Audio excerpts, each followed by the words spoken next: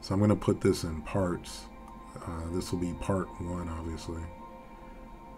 And just because it's it's longer than I expected, I cover a lot of um, topics in more depth than I anticipated. But I, you know, when I present something, I want to seal the deal. I want to just drop the mic and I want scrutiny. So I want to make it clear what Out of Africa 3, Out of Africa 3 is really. It's just you're taking haplogroups literally. You're not assuming back migration when you have you know thousands of people in Africa that have something and you have the ancestor for that um, haplogroup within Africa.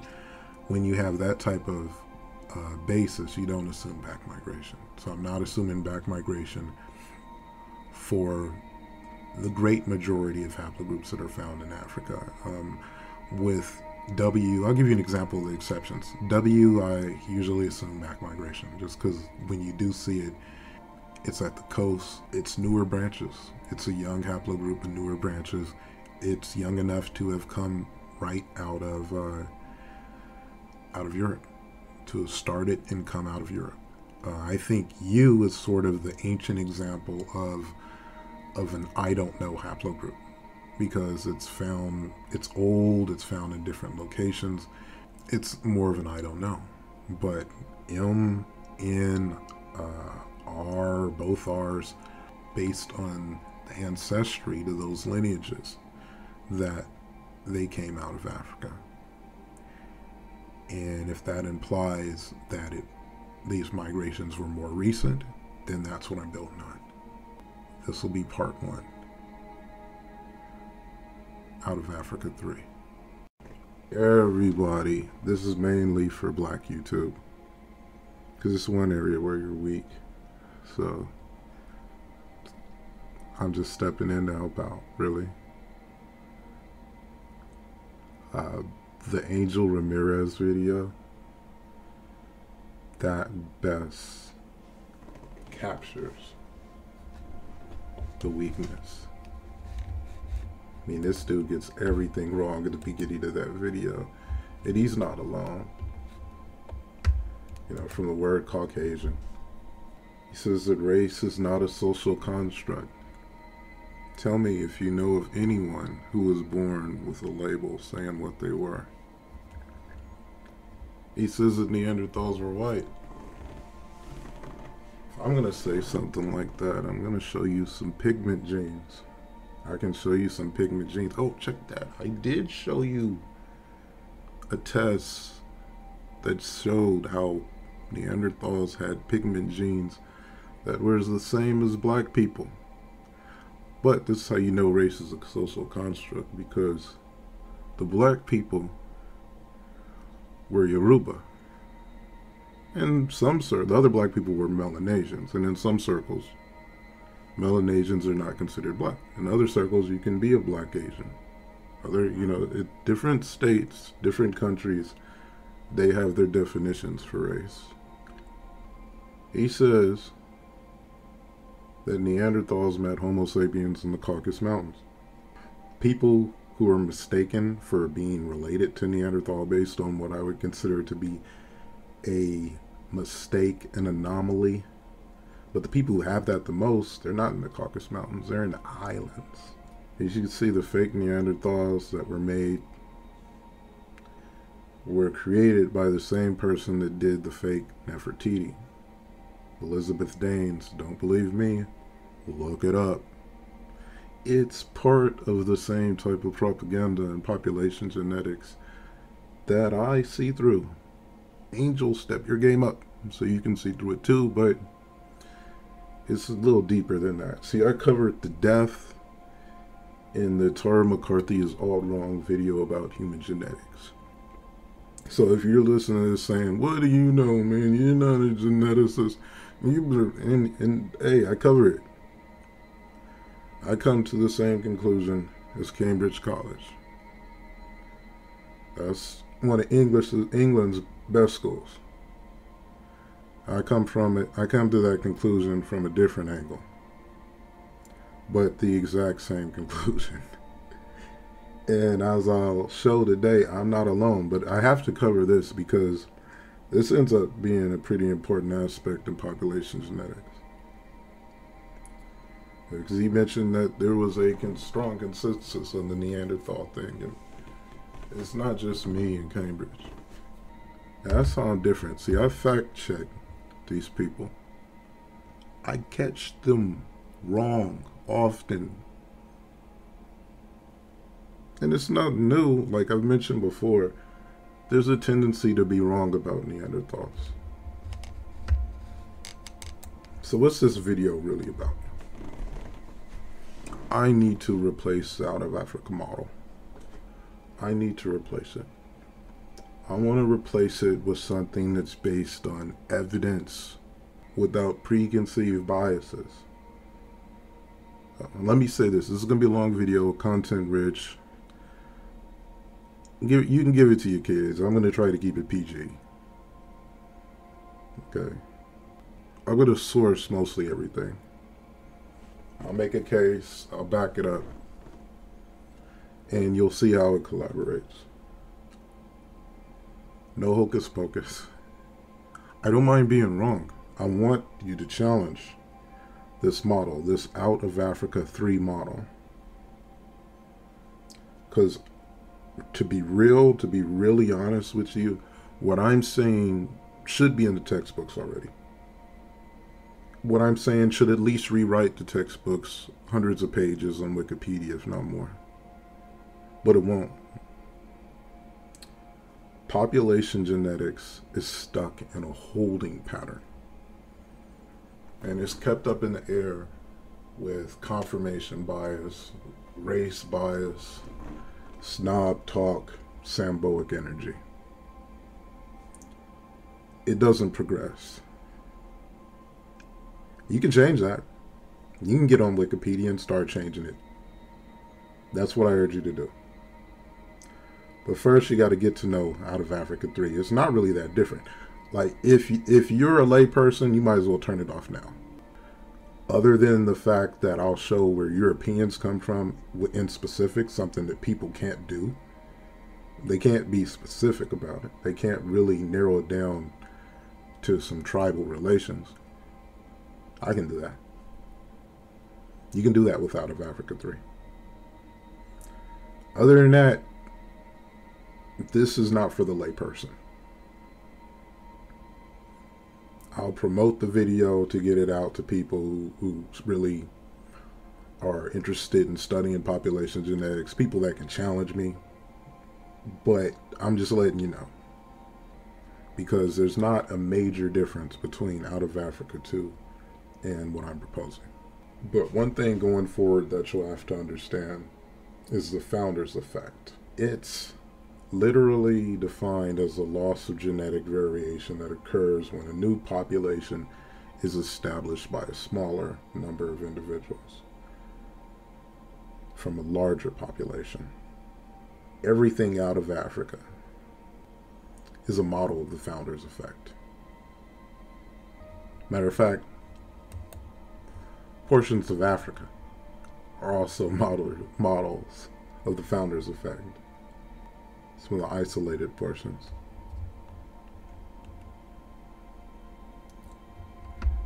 There are currently two out of Africa models. And they have different permeations. So before I get to the third, I'll, I'll try to go through the first two real quick. Um, here's some of the definitions. I think I'm flashing that up. If not, they're pretty simple. Out of Africa 1 basically is early humans left Africa and separately they evolved into Homo sapiens. Out of Africa, out of Africa 1 is pretty much dead. I won't really spend much time dealing with out of Africa 1. There's no evidence for multi-regionalism there are no known haplogroups from non-Homo sapiens. So off that right alone, it doesn't work. I mean, the only exception might be A double zero, but there's no way to confirm that because there's no, um, like the only people who have A double, A double zero are modern Homo sapien. You know, that doesn't really work. And even, and here's the thing like, if it's something I'm not firm on, I'll, I'll put an asterisk next to it. I'll put that asterisk. Like in the video, Black Neanderthals and Eurocentrism, I wasn't firm on interbreeding, and I'll put an asterisk next to that. But I did show that they had the pigment genes of people who are classified as black and people who have the same color who might not be classified as black because they live in, in live in Asia. In that first video, that video, um, Black Neanderthals and Eurocentrism, I talked to this guy, and you can kind of read our conversation. Is 98% African with 58 Neanderthal variables. And at the time, I knew that they were found in sub-Saharan Africans in low amount, and I just dismissed that as back migration, back in Africa. But then I examined his tests, and I compared it to other African Americans. I noticed that even African Americans who were 23andMe's idea of being 15% European and like 2% Native American, they had less variants then. I think his name is Guyame. He put this on his public uh, Facebook, so I don't think he, he minds uh, me saying this. So, but that's his test. Like you can see his entire test on Facebook. And that really isn't a whole lot of Neanderthal variants. But the thing is, you're not getting that from 2%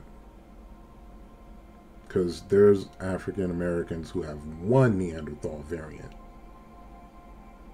You know what I mean? Like, that's still too much.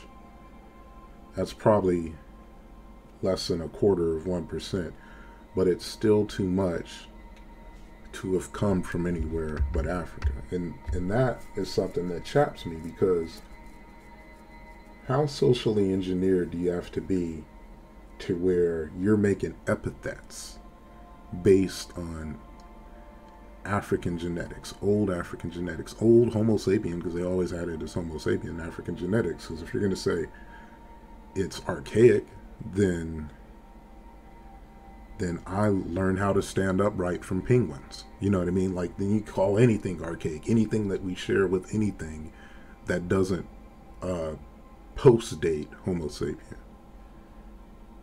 So it's still it's coming out of Africa Homo sapien genetics, and we've turned it into Neanderthal. Yeah, that's a good video. I would suggest watching that video and the other one. If you're into this, watch those two videos first. The Tara McCarthy video and the Black Neanderthals and Eurocentrism video. You'll see how I evolved. But back on subject, multi-regionalism, it's not really, it's not hitting anywhere. Like David Duke has a multi-regional in Africa hypothesis, but it, it's not really, it's not moving. Out of Africa too, that's the one that's generally, that's generally accepted. That's, um, the problems with out of Africa too are more complex. Like I said, it's, unless you're really into details of the subject, it's not that big of a difference. I think it's definitely big enough to where it needs to be discussed. Like we should definitely get rid of, according to me. You know, challenge me if you think I'm wrong. I think Out of Africa 2 needs to get done. It should be done. You can't build off of it. There's way more information that points to a different model. Um, most people within Out of Africa 2 still accept the Neanderthal admixture within it. And I think that holds it back big issue, though, just jumping out, I'm going to shorten this up some. The big issue with Out of Africa 2 is if you look at the maps, you need all of this back and forth migration.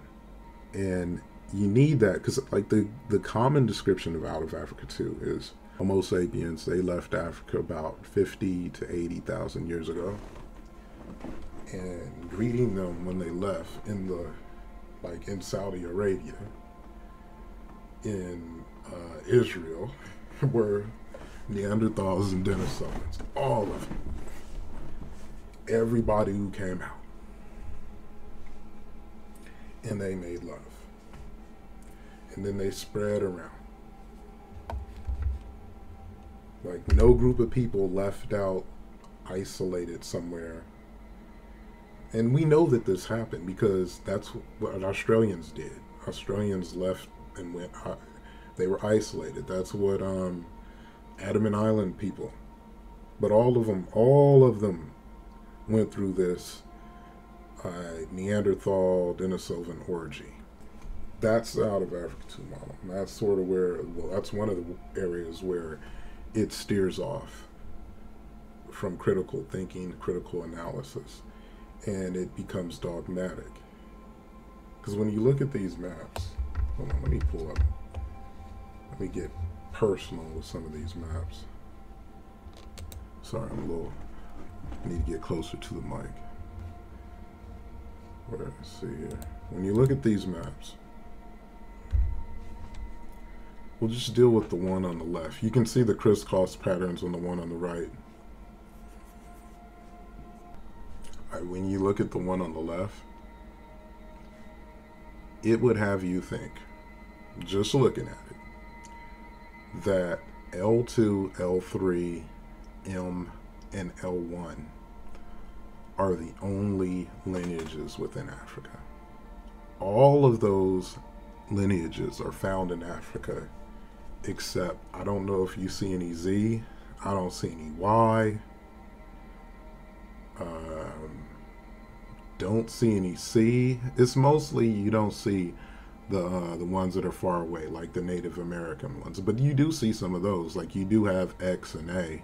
A is I, I know of a couple instances of A. A is kind of light, but you get the picture. The European ones are all in Africa except for W, I think. So to explain their existence there, you have, and on the right side, you have the Y chromosomal map. So to explain their their um, presence, you have to have a back to Africa model where people left, you know, in spite of Africa being that large, they went the distance of the United States, China, India, double that, and then came back. It's like there's no evidence in archaeology and the evidence from genetics is explained better from just having a relationship with the people that left. So, people left and they go uh, all the way to Nebraska from, let's say, Tunisia. You're probably not going to be as related to them as if people left Tunisia and went to Italy. Then you're going to be more related to Italians. That's the patterns you, you see. You see that um, is a pattern of um, that nature. One other thing. Yeah, I might throw in some storytelling. Because I just watched this video. I'll try to make this quick. Nia Hope she finds out that she has haplogroup H. Now, as I'll show um, in a minute, haplogroup H is all over Africa. And she was getting African ancestry. And then this, uh, there's a video from uh, Atheism is Unstoppable where they're just making fun of her. I mean, this is a woman who's had her culture yanked from her bear and in her nakedness, she tries to put on some clothes, figure out who she is. And I hope that she had a European branch of H and African ancestry can't do anything with it. I hope that's the case because there's African branches of H. Matter of fact, African Americans brought H to America too. So there are definitely African branches of H. H is thicker in Africa. In the location where African Americans came from.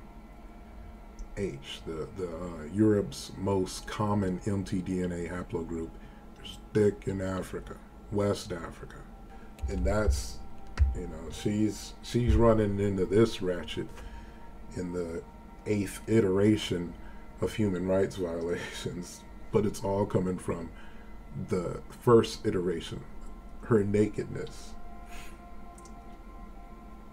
a matter of fact, I should just get to it and get to showing it, but there, there's other things involved. It's not just the location of these haplogroups. It's not just HV, the ancestor of HNV in Burkina Faso. The difference between out of Africa 2 and out of Africa 3 is I don't assume back migrations. I let the evidence speak, and I'll, I'll reference it and check it, and then let it speak again. I mean, in other words, I look at it scientifically. There's a lack of that sort of analysis. We have to have some general agreement that the patterns change. As you can see with 23andMe in the top right, it includes North African values. So, well, it includes, as you can see in 23andMe in the top right, they include, let's see if I even have that up. Yeah, that that's their North Africa. They include like Yemen, Saudi Arabia, um, Oman. I've seen Kuwait in, included, which is like really far from North Africa. I can't find Nat Geo's, and I looked. I can't find their definition of North Africa, but I see that they recently changed it. They rolled their previous 14% sub Saharan African into new categories. Like if you look at their definition of Egypt, then you can see how it changed. So it looks like the sub-Saharan African that goes into North Africa just became North Africa. And you can see what it what changed with um, their uh, Southwest Asia European, how that changed. Now also you can see how with their new model, I talked about this in my last video, Obama's daddy tribe, the Luhya, they're 6% Asian, 4% North African. As you can see in 23andMe in the top right, they include, let's see if I even have that up. Yeah, that that's their North Africa. They include like Yemen, Saudi Arabia, um, Oman. I've seen Kuwait in, included, which is like really far from North Africa. I can't find Nat Geo's, and I looked. I can't find their definition of North Africa, but I see that they recently changed it. They rolled their previous 14% sub Saharan African into new categories. If you look at their definition of Egypt, then you can see how it changed. So it looks like the sub-Saharan African that goes into North Africa just became North Africa. And you can see what it what changed with um, their uh, Southwest Asia European, how that changed. Now also you can see how with their new model, I talked about this in my last video, Obama's daddy tribe, the Luhya, they're 6% Asian, 4% North African. Okay, I can kind of see the... Actually, I mean, the Luhya in Kenya, that's a lot of North African and Asian especially Asian, 6% Asian.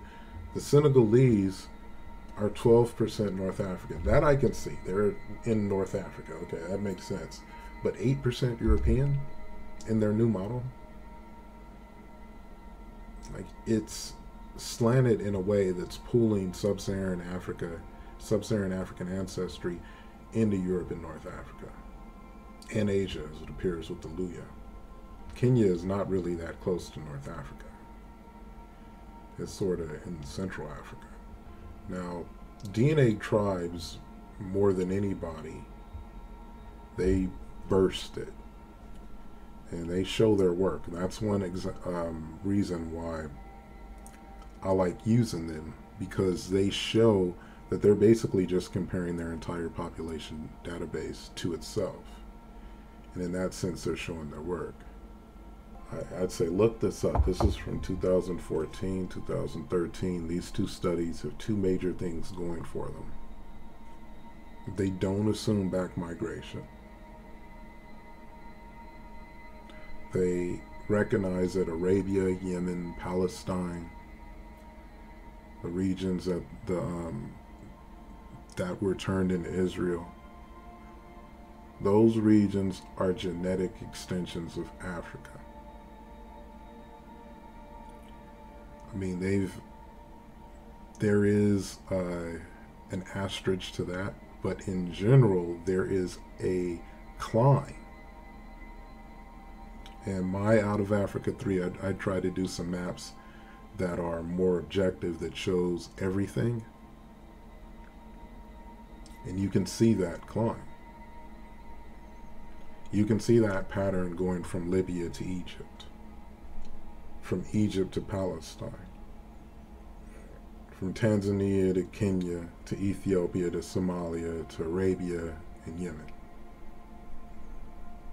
And there's somewhere of a break when you hit the Red Sea. But you can see that pattern.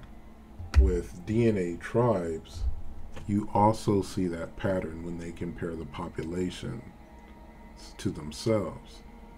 And that takes out some of the bias where you assume that people are back migrating to a region instead of just saying, okay, well, who are they related to? Compared to themselves, compared to other people. Out of Africa 2 is, like I said, the consensus model. There is no name for Out of Africa 3. As far as I know, it started with me. I want to present both arguments. And I want to start off with the quotes from geneticists that, uh, where if you listen to them, it does sound like they're where they favor a different model. That's more like out of Africa 3. It's Peter Underhill. Haplogroup, and this, sorry, this kind of might be a lengthy read, so take a moment. But I want to give you some ideas on where geneticists are and how conflicted they are, how different they sound. Okay. This is Tomas. I don't know how to pronounce his last name. I would assume it's Skidisvili. Peter Underhill. Haplogroup CF and DE molecular ancestors first evolved inside Africa and subsequently contributed as Y chromosome founders to pioneering migrations that successfully colonized Asia. While not proof, the DE and CF bifurcation is consistent with independent colonization impulses possibly occurring in a short time interval. Let's throw in another one. This is uh, Pontus Skoglund. Let me give this one some context. There was a study done on burials from mostly Tanzania, but also Kenya and South Africa. And they found that they were related to Natufians, who was a population in uh, like modern Israel, and Anatolians, which is an ancient population. There's ancient people from modern Israel and from Turkey. They're related to them. These are the same. This is the same population that produced the articles. Same two population that produced the articles saying that ancient Egyptians were related to people outside of Africa. That sub-Saharan African, sub-Saharan Africans were new migrants. Well, within sub-Saharan Africa, in this study, which came out like not long after, like months after the, the uh, Abu Sir study, in this study they find ancient Tanzanians, Kenyans, and South Africans that are related to those same Natufians and um, people from Turkey, the Anatolians. So the, the quote explaining this goes as such. This is from Pontus Skoglund. These results could be explained by migration into Africa from descendants of pre pottery Levantine farmers, or alternatively, by a scenario in which both pre pottery Levantine farmers and Tanzanian Luxmanda 3100 BP descend from a common ancestral population that lived thousands of years earlier in Africa or the Near East.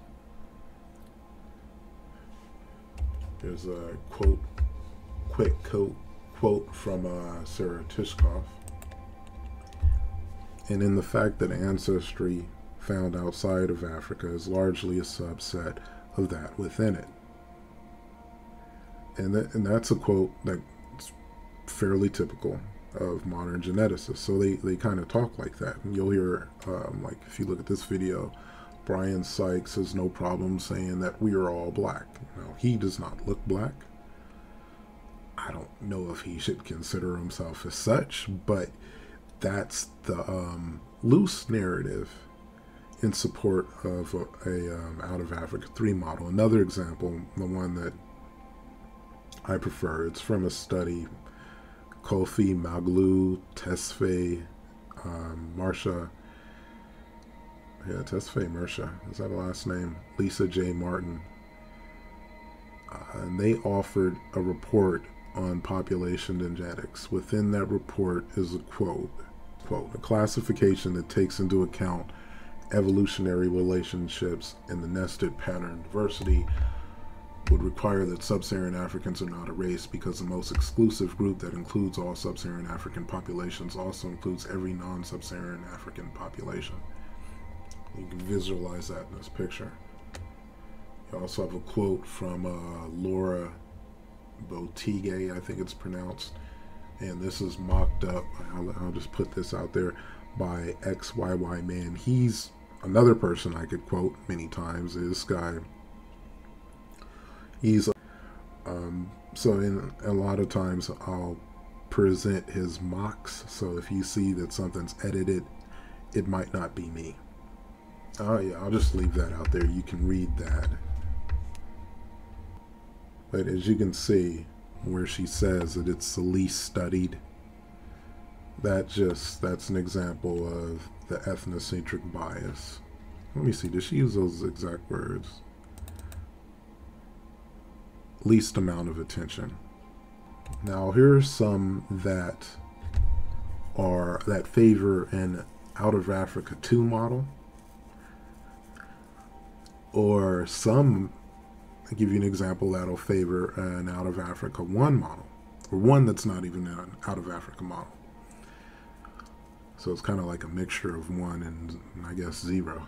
Call it negative 0.3 model carriers of mitochondrial DNA haplogroup group L3 migrated back to Africa from Asia 70,000 years ago. That's a staunch out of Africa 2 take right there. And there's the abstract on that. This right here, and they make their their case for it. They're basing it on a fossil that was dated around 125,000 years ago uh, in, I guess, not sure exactly where it was found, but then you have Ulfur, Ulfur Arnason. This is that negative zero model says out of Europe slash Asia into Africa theory of human origins. New paper calls for paradigm displacement, and he makes a case based on. Let me see here. It says. Ulfur Arnason, a neuroscientist at the University of Lund, Sweden, places the last common ancestor of Homo sapiens and Neanderthal Somewhere in Eurasia, Arnason argues that the ancestor of the African Khoisan and Mbuti populations formed the first exodus of, hum- of Homo sapiens into Africa from Asia and Europe. Now, if you listen closely to that, doesn't it sound like maybe Ulfur got the memo that Africans have Neanderthal and he had to explain that. That that kind of sounds like what that's about is explaining why Africans have tiny portions of the Neanderthal admixture. And this this study was actually sourced by Dr. Ali Muhammad in the debate with Jabari. You go back and listen to it and he sourced this this uh, this study. There's another paper from ResearchGate where, and they're uh, talking about uh, back migration, explaining why different lineages, quote, Eurasian lineages are found in Africa. This paper, it says, since out of Africa, several waves of population backflow from Eurasia towards Africa took place. Genetic data from modern African populations unveil the presence of major Eurasian genomic components in North, cites a bunch of studies. Um, and wow, I don't like how this is written because you got to go through all these studies and date it to blah blah blah respectively. It has already been shown that proper handling of these non African segments may improve the understanding of the autochthonous African human diversity in some cases drastically revise our understanding of within African population divergences. Those are examples of what's different. Luca Pagani, um, you've got the, you still have got people arguing uh, against out of Africa, period. I'm going to list seven collaboratives, collaborative proofs for out of Africa 3. I'm going to start with what I, I began with earlier. I keep going back to this. Let's really look at Neanderthal admixture. Let's hold it to the fire, okay? Being mixed with a people existed for over 800,000 years, diverged from Homo sapiens. You're mixed with someone that's 800,000 years diverged from Homo sapiens that should significantly increase your diversity. Anyone that's mixed with Neanderthal is significantly more diverse than people who did not, or at the very least, if this was a previously bottlenecked population that lost its diversity, it should be more diverse where Neanderthal admixture occurred. That's where it should be the strongest. And the people who have the highest percentages should be more diverse than the people who have the least if they all were previously bottlenecked the same way. Number two is haplogroups. If haplogroups that are more common outside of Africa than inside of Africa are not a product of back migration, then we should see migration patterns with earlier and ancestor branches of these haplogroups leading out of Africa.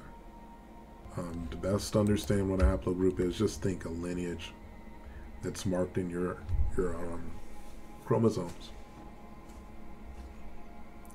Number three, the relationship with Asian and European ancestry would have to fit a certain pattern.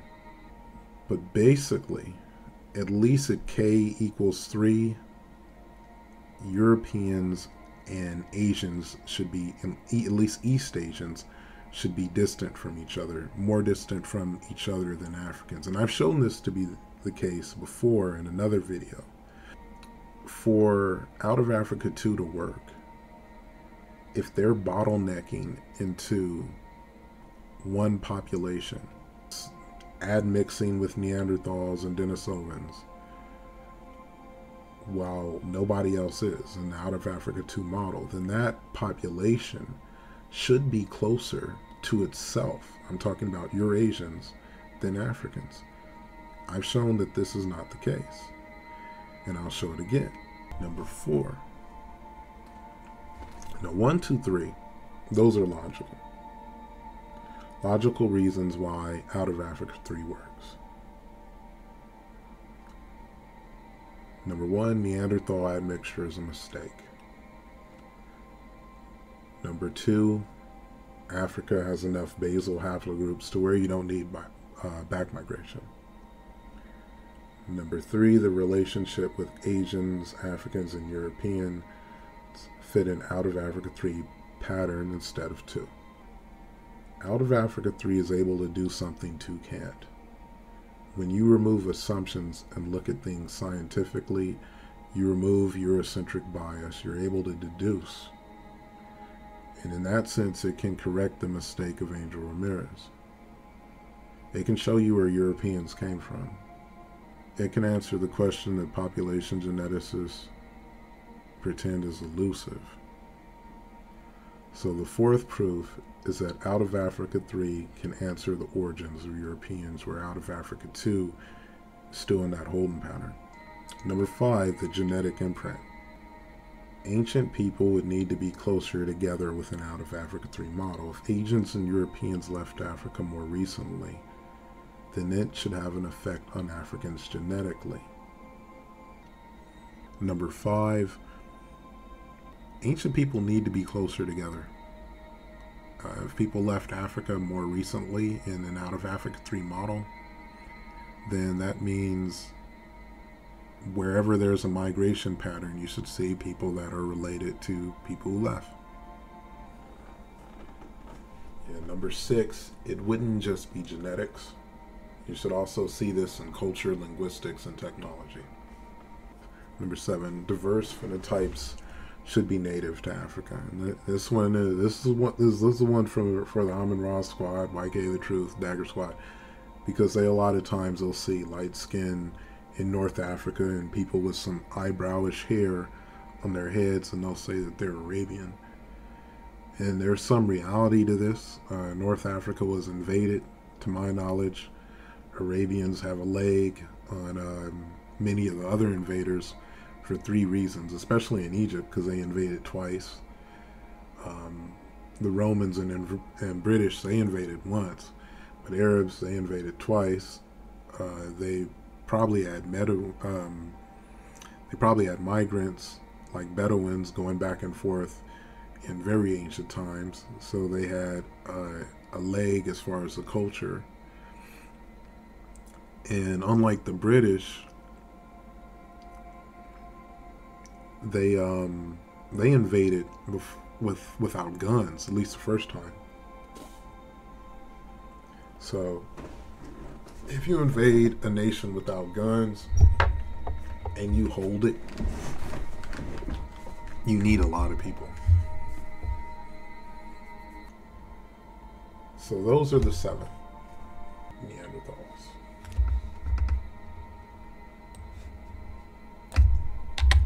So we'll take it from the top.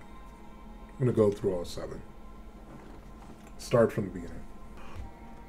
There are zero Neanderthal haplogroups, therefore zero extant lineages.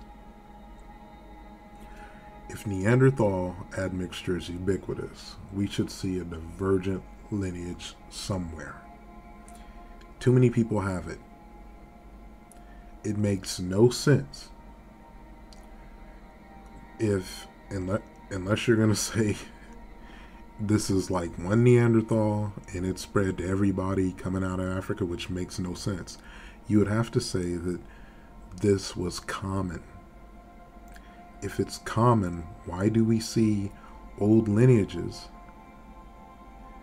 that are alive today, but not one Neanderthal haplogroup?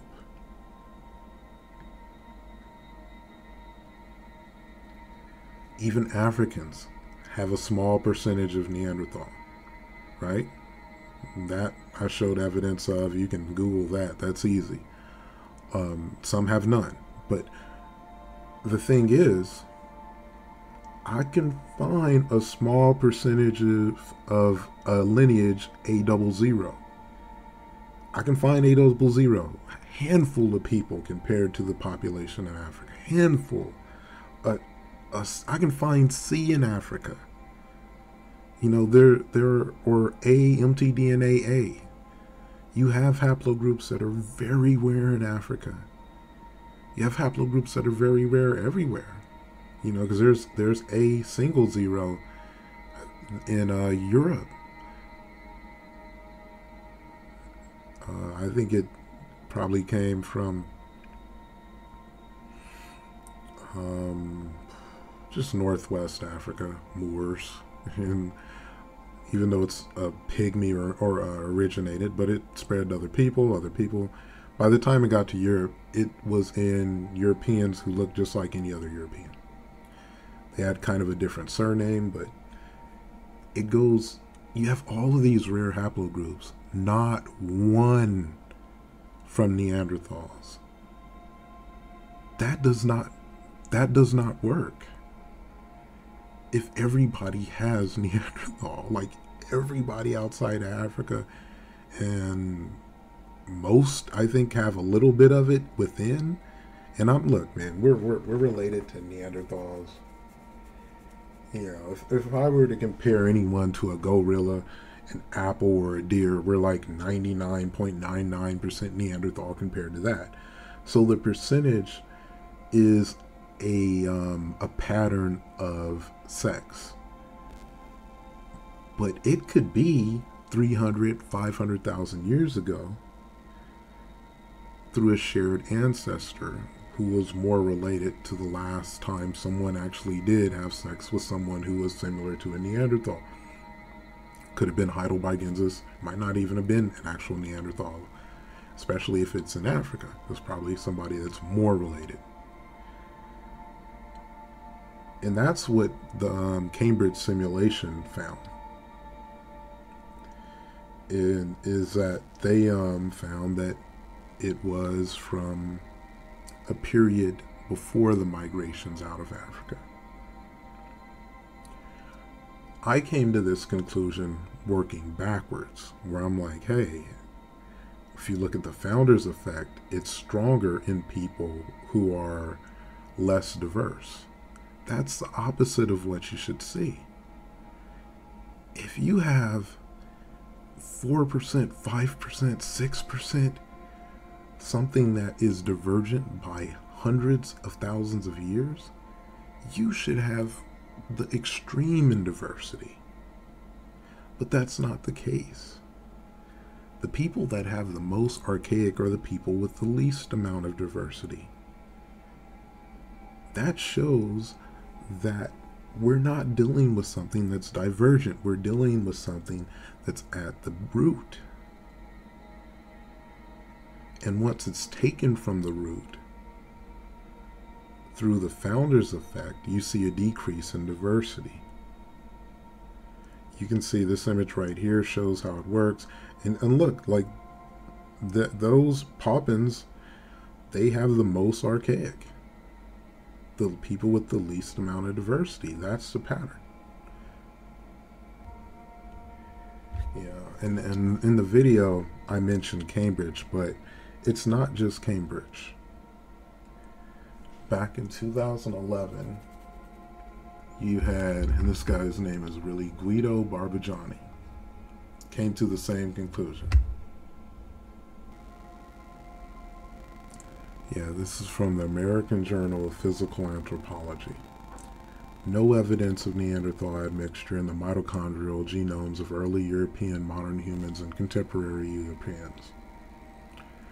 This is from Bell et al. 2009. Et al. and friends. That's all it means.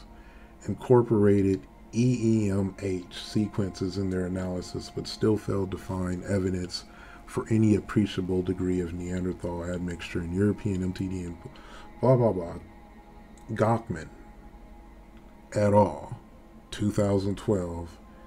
These results mimic signature, signatures of recent Neanderthal admixture, contributing to the locus. However, an in-depth assessment of the variation in this region across multiple populations revealed that African NE1 haplotypes, albeit rare, harbor more sequence variations than NE1 haplotypes found in Europeans, indicating an ancient African origin of this haplogroup, refuting recent Neanderthal admixture.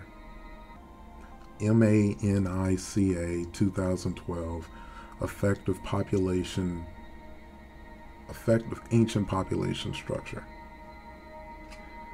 Quote from this To investigate this problem, we take Neanderthals as a case study and build. Uh, actually, I think this might be the. Um, this might be the Cambridge study, but because it sounds like how they ran the the simulation. So, anyhow, to investigate this problem, we take Neanderthals as a case study and build a spatially explicit model of the shared history of anatomically modern humans in this hominin. We show that the excess polymorphism shared between Eurasians and Neanderthals is compatible with scenarios in which no hybridization occurred and is strongly linked to the strength of population structure in ancient populations.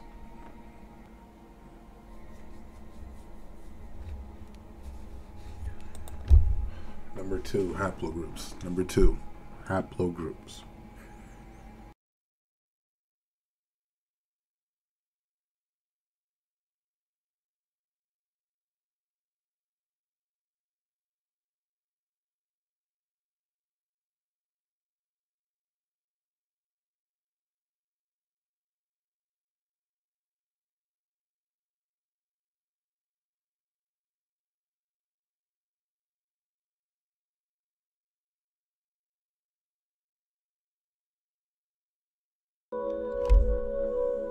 Siberia, mutations.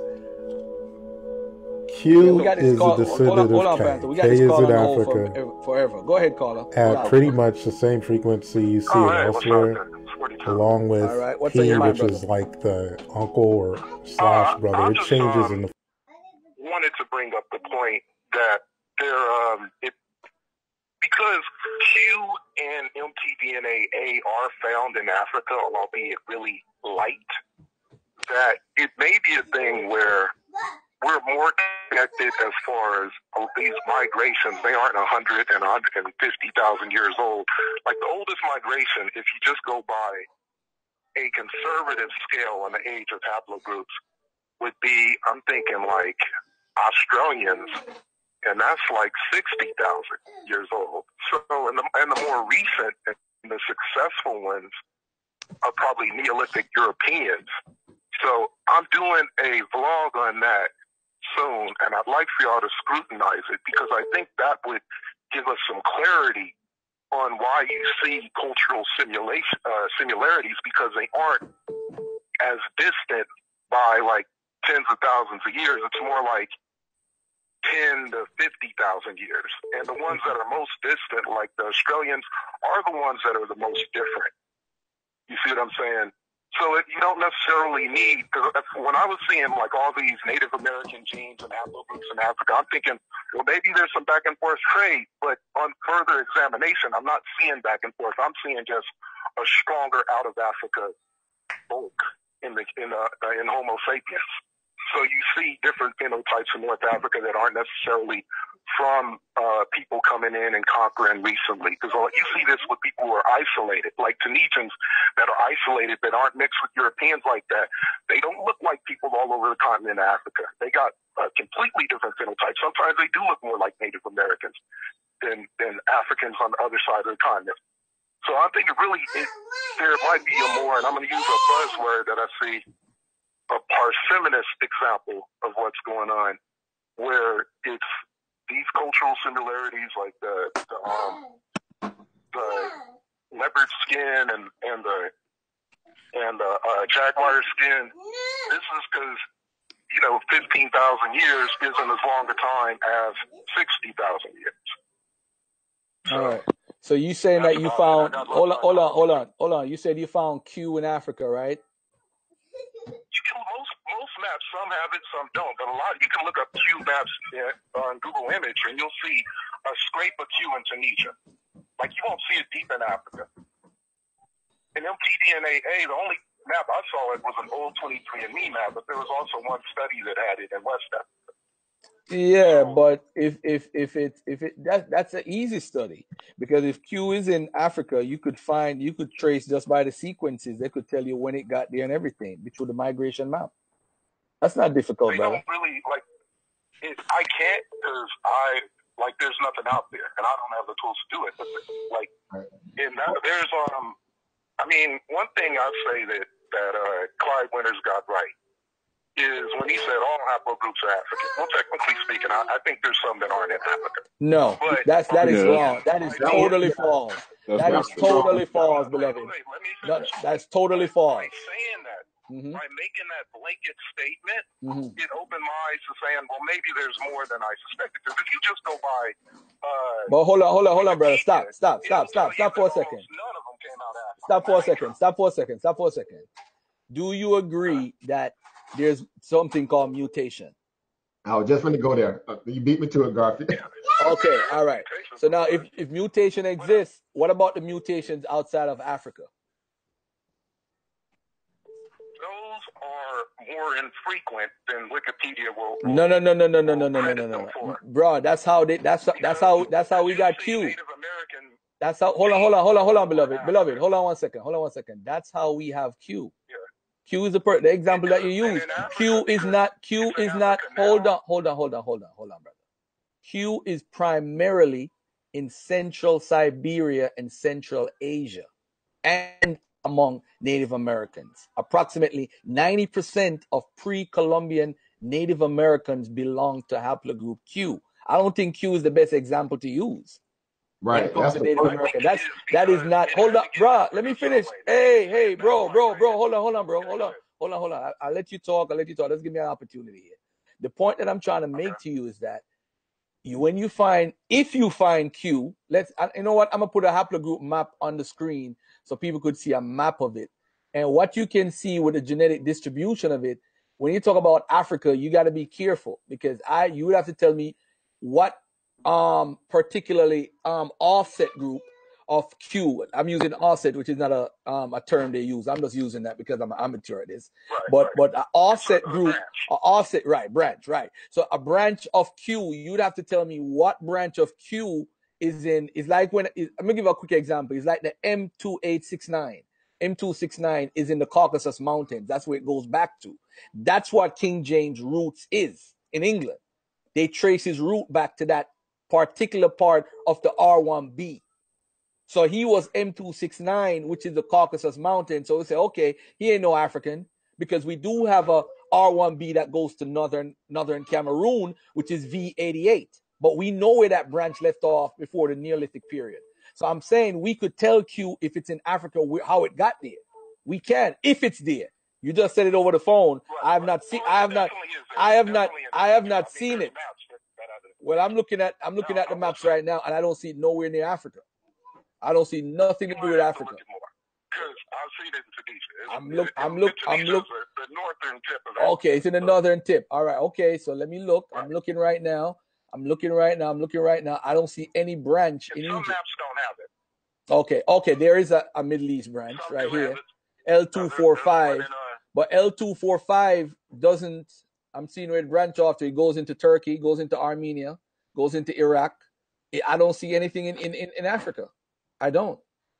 got- I I look into it some more. I'll look into it some more. I, I could put them up Now, like even the one with A2, hmm there's no real study on how A2 is in, in uh, West Africa, but that's the earliest branch in mtDNAA, and it's light. Like, but then again, like, Hold on, hold on, hold on, hold on, hold on, hold on. Um, Q one A. Hold on, hold on. Q one A two.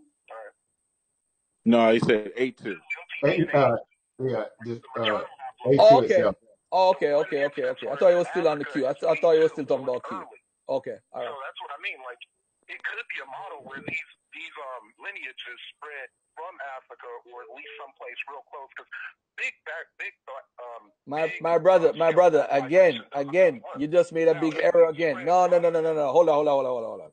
You just said that this could have come from Africa, where we already said Q is found outside of Africa, brother. It has nothing to do with Africa. Because it Let's- lacked. Because Hey, no, hey, let's- let's do this, I don't think. Hold on, hold on, brother. Hold on, hold on, hold on, hold on, He's guys. missing the Don't interrupt. the Don't interrupt yet. Don't interrupt yet. My brother, Q is developed outside of Africa. It's a mutation It's a outside of mutated Africa. If genome. you don't agree on that, How you don't make. get in Africa? No, no, no, no, no. How it got into Africa is probably through somebody migrating to Africa. It had nothing to do with Africa. I think that's where we're, we're getting mixed up I- now. I- I- It's I a mutation. gotta Hold on, let me let me get let me get. Let No, no, it's not. No, it's not. You know what, bro? No, I'm not talking about you because I don't know about you. But No, but but hold on, hold on, hold on, hold on, hold on, hold on. You Hold on, what, stop, stop, stop, stop, stop, stop, stop, stop, stop, stop, stop, stop, stop, stop, stop, beloved, stop. Because you're confusing. We're talking about Q, and you said that Q is in Africa or it comes from Africa or something, and then you mix up another group. Nah, don't don't worry about it. We're gonna respond to you, brother. We get back to you. All right, we're gonna respond to you. I, brother. I was just on. group Q is one of the two branches of P1. The sister group, haplogroup, is R. This haplogroup is believed to have originated around the At- Altai Mountains, south central Siberia region area, approximately 17,000 to 31,000 years ago. This haplogroup has over a dozen major subclades identified in modern populations. Moreover, under the major subclades, there are diverse subhaplotypes. It's found in the Americas, Europe, Asia, and North Africa. Now, when it's found in North Africa, the people normally have like 0.6 of it or 0.5 around that region. That is telling you it doesn't originate in Africa. That's true admixture. All right. That's true people who came back into Africa, who intermingled and so forth. They ain't got nothing to do with Africa, family. This is not an African DNA. It came from outside of Africa. It came back into Africa. This is basic haplogroup science. All right. It's called back to make that migration. Exactly.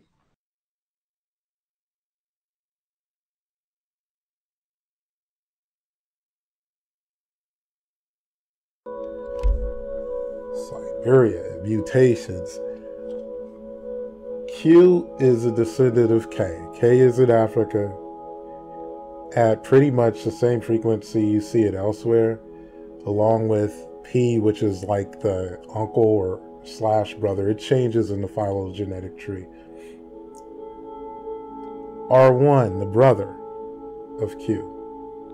And I'm not really that hung up on Q. Q, I'll, I'll get to Q. I don't really, to me, Q is a, um, I would render Q to be a, I don't know. And I'll say why I'm not definitive like Garfield as the origin of Q in a moment. But for now, I'm just saying the ancestors for Q are in Africa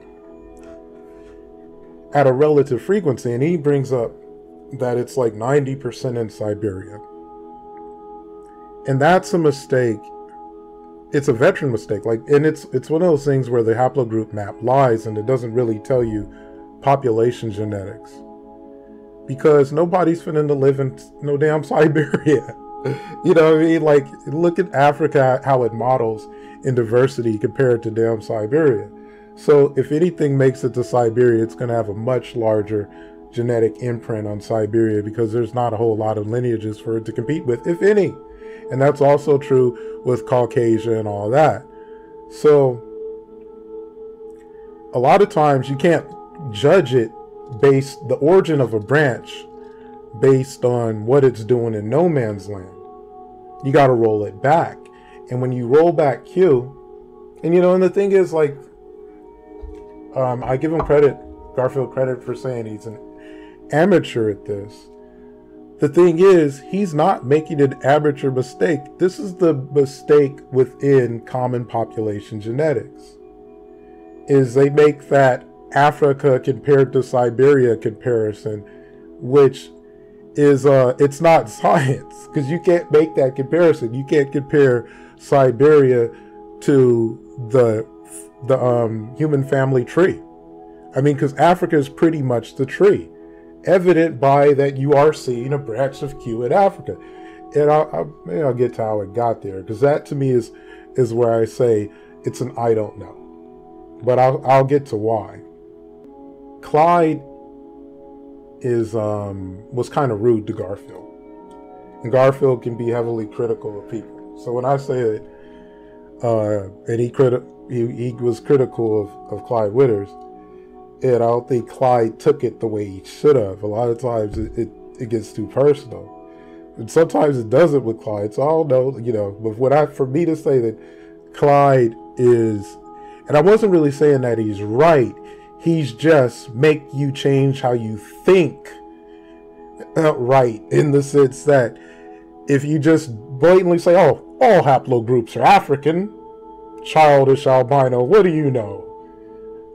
You could then turn around and, and make a argument for damn near every haplogroup but D. And you could say D because it's old and DE is in Africa. You could even say it was in Africa before and went extinct. Just haven't found it yet. We haven't tested most of Africa.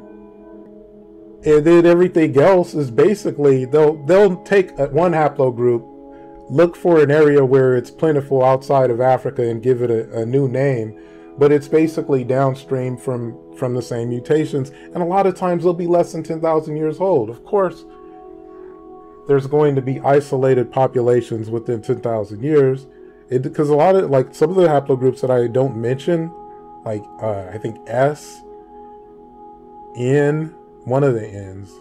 There's two N's. Um, Y haplogroup N. Let me let me double check that. See, I'm going by assumptions because there's so many of them. But let me do a little real time test. Why haplogroup N. I'm assuming it's really young because I don't see any examples of it in Africa. It's about 34,000 estimate. So it's not really that that young. Let me see. What's the trip though is the ancestor for NNO is in Madagascar. So everything just starts coming back to Africa. And then before that, it's a branch of K. And K, you, you can't really just go by, by Wikipedia. I'll get to that. I'll show examples of K. Matter of fact, I'm showing one right here. Because our um, Garfield also mentions that King James traces his uh, M6 uh, M269 lineage off of the R branch, and the R branch is awfully old. That you're speaking of it in terms of mutations is evidence of, of uh, out of Africa 3. Because if you don't go with that that mutation, then it's coming right back to Africa. And like I talked about uh, M269, let me put that up in my last video. Because, and first let me just say this before I get to M269 King James was white. I agree. Um, but M269, that's the branch that I talked about that's off of my own paternal haplogroup. I have a, a more modern European branch that's even more recent. Because like M269, the other way you say it, I think is R1B1. Let me look it up, man, because I'll just be sitting here. Because, but the more modern European version, you got to add like a whole bunch of little um, numbers and letters that represent branches for it to work. You dig? Like you got to really. Let's see. Is this early R? No, this is R1. Okay, here we go. It's at the top. I'm just searching for it. Yeah, it's supposed to be estimate time of origin is like five to ten thousand years, and usually they err on the side of age to make it older. And it's R1B1A1A. That I offhand, just offhand, would say, okay, that's a European haplogroup. You're not going to see it in Africa. But I noticed earlier last year, yeah, we're in 2019, so I got that right. Earlier last year, that there's an instance of it being way down in South Africa in Herero. And then I usually assume, because people know if they have um, colonialists in their lineage. So I see that it was like 8%. Yeah, 8% in Namibia. And that's a see that that's like even then I would say that's kind of borderline. That does in a sense scream green Sahara and back migrations from a higher point in Africa. But the notion that it came from um, from colonialism, I'm not 100% against that just because it's such a common European lineage. I mean, we're talking 90% in Wales. But on the other hand, you go back 6,000 years ago, this could be a uh, like late Neolithic. I don't, I don't even know. Well, they're they're calling it Neolithic. Yeah, they're they're saying Neolithic Europe, like Wikipedia. It's M269. It's located in the Sahara, and it's in southern Africa. I'm not 100 that that because if you look like and, and it was difficult to get to this study. Man, this study is so nested, and that's the thing. A lot of these studies, if you go to the source in Wikipedia, and I gotta also mention, give props to whoever put this in. I'm just gonna assume that there is a little bit of a John Brown element to Wikipedia. There, it's not just some base Eurocentrism and stuff like that. There is some white folks that are trying to put in some work and be objective. They find M269. They're intentionally not trying to test people who are mixed with colonialists. But the thing is, like like I said, it was hard to find. It was hard to get into this study. Man, it was hard to get into this study. It's just nested. And then when I finally did get it, it's this blurry image. So I'm putting up some links to it, and it's it was in the appendix. Usually they put stuff in um like topics or or field charts or whatever. They'll have a section. They won't put it in the appendix. So I noticed that that line is also in the Khoisan. Because, I mean, were Europeans coming to Africa saying, we're going to kill some people and have sex with bush women? Like, hey, I, I wouldn't put it past them because there was genocide there, there was colonialism in Namibia where this is located. But 8% out of 24 people, I'm not, you know, and, and then they also had haplogroup I, which I would say is if it is if it wasn't so nested with its ancestor F in the Sudan, and if I'm on point, I might have some evidence on this, but I don't think I'm going to flash any of this. I'll just show F. F is uh, in Africa. Quiet is kept in spite of the bulk of, of all the uh, genetic diversity that it has to compete with. And I think that's what produced I offhand. When I see I in uh, this branch of R, I do assume that it could be colonialist. Yeah, I think that's possible. But for it to be in Herero, okay, the Herero they got some they got some honeys. I've seen some cuties they and they they got a European streak to them. They they like to dress up like Europeans. I can kind of see that. But in in a small population of, of uh, Bushmen too, or Bush women, I should say, like the uh, the Nama, you know. And then there's also the thing, well, where did some of these light skinned genes come from? Because the Nama are some of the palest Africans you're gonna find.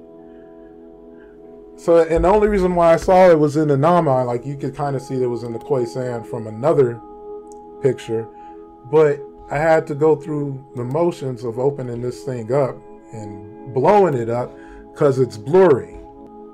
So let me get to it. I mean, I, we all.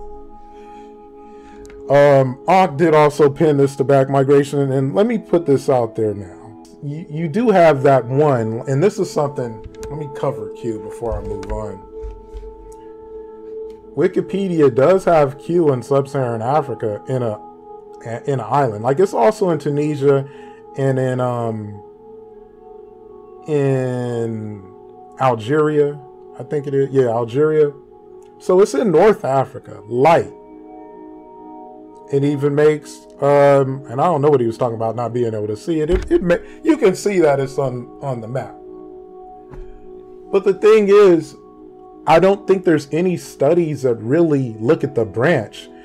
I hadn't found one that looked at the branches except for the one in Wikipedia mentions it, this M346 branch being in Comoros, which is a, a little island between Madagascar and like Ethiopia. Now that branch is sort of in the middle of Q's diversity or it, based on this phylogenetic tree. Another one either doesn't have it or just say what, where its starting point potentially is. And to me, that renders an I don't know because it is very possible that Q was a lineage in Africa that was overcome by the diversity in ancient times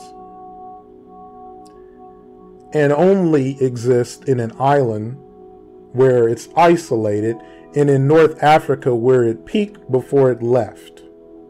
That is possible. If we could see the branches that are in North Africa,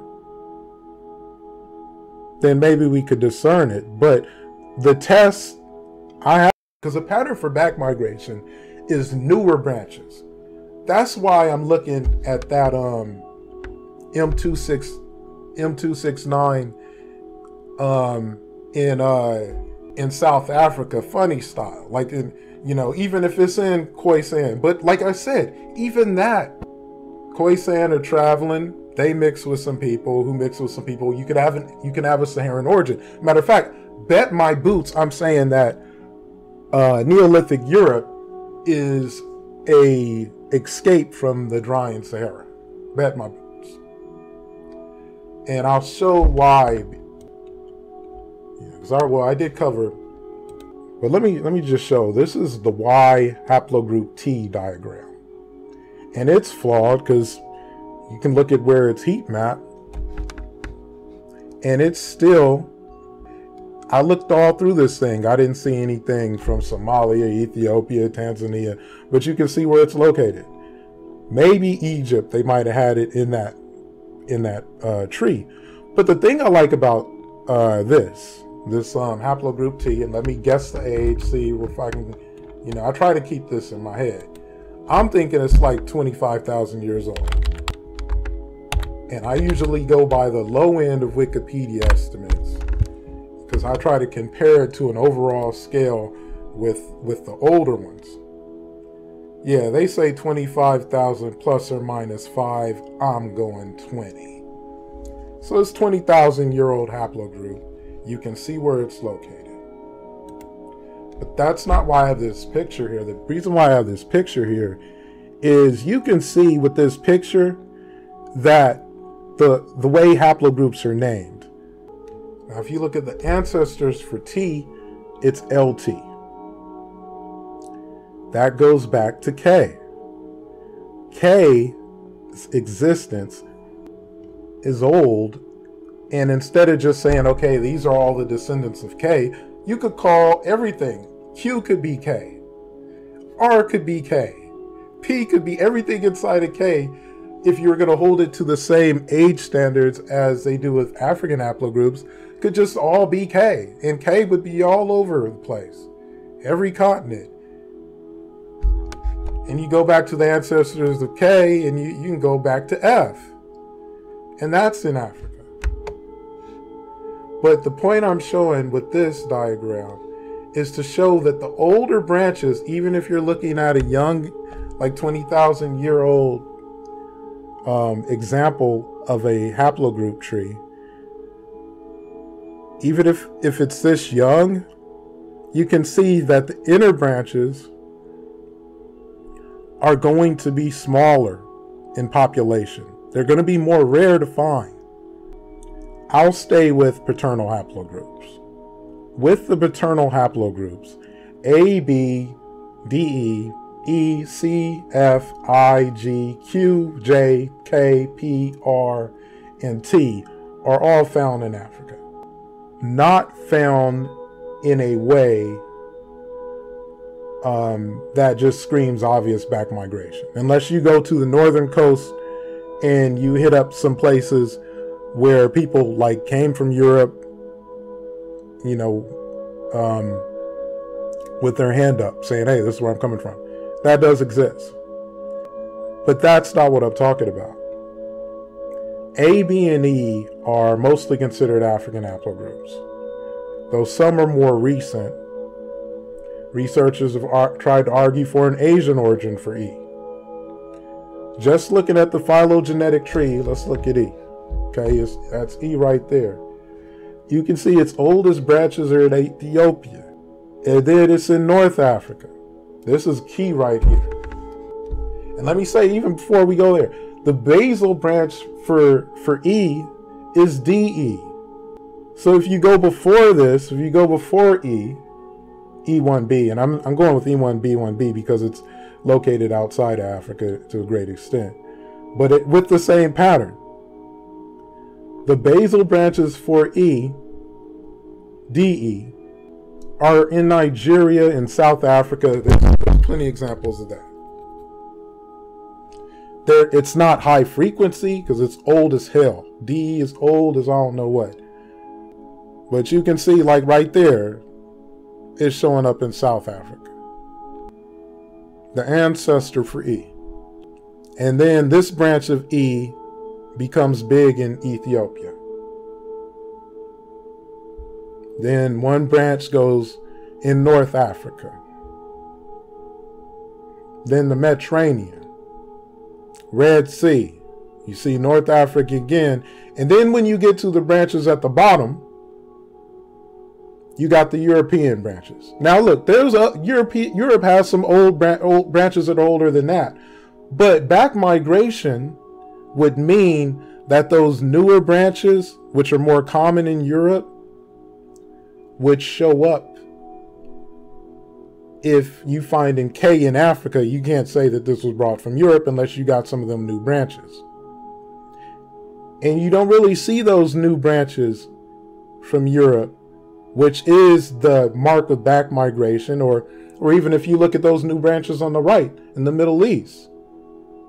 And look, like the branches with the Middle East are right next to South Africa. And the Maghreb, which is kind of why you see a distance between people um, who are, who look European, the Maghrebians, and Europeans, if they're not if they're not having sex. You know, like there are places where, like in the Maghreb, Morocco, where Europeans have come and and and love has been made. I hope. And and that's what you end up with. That people become closer.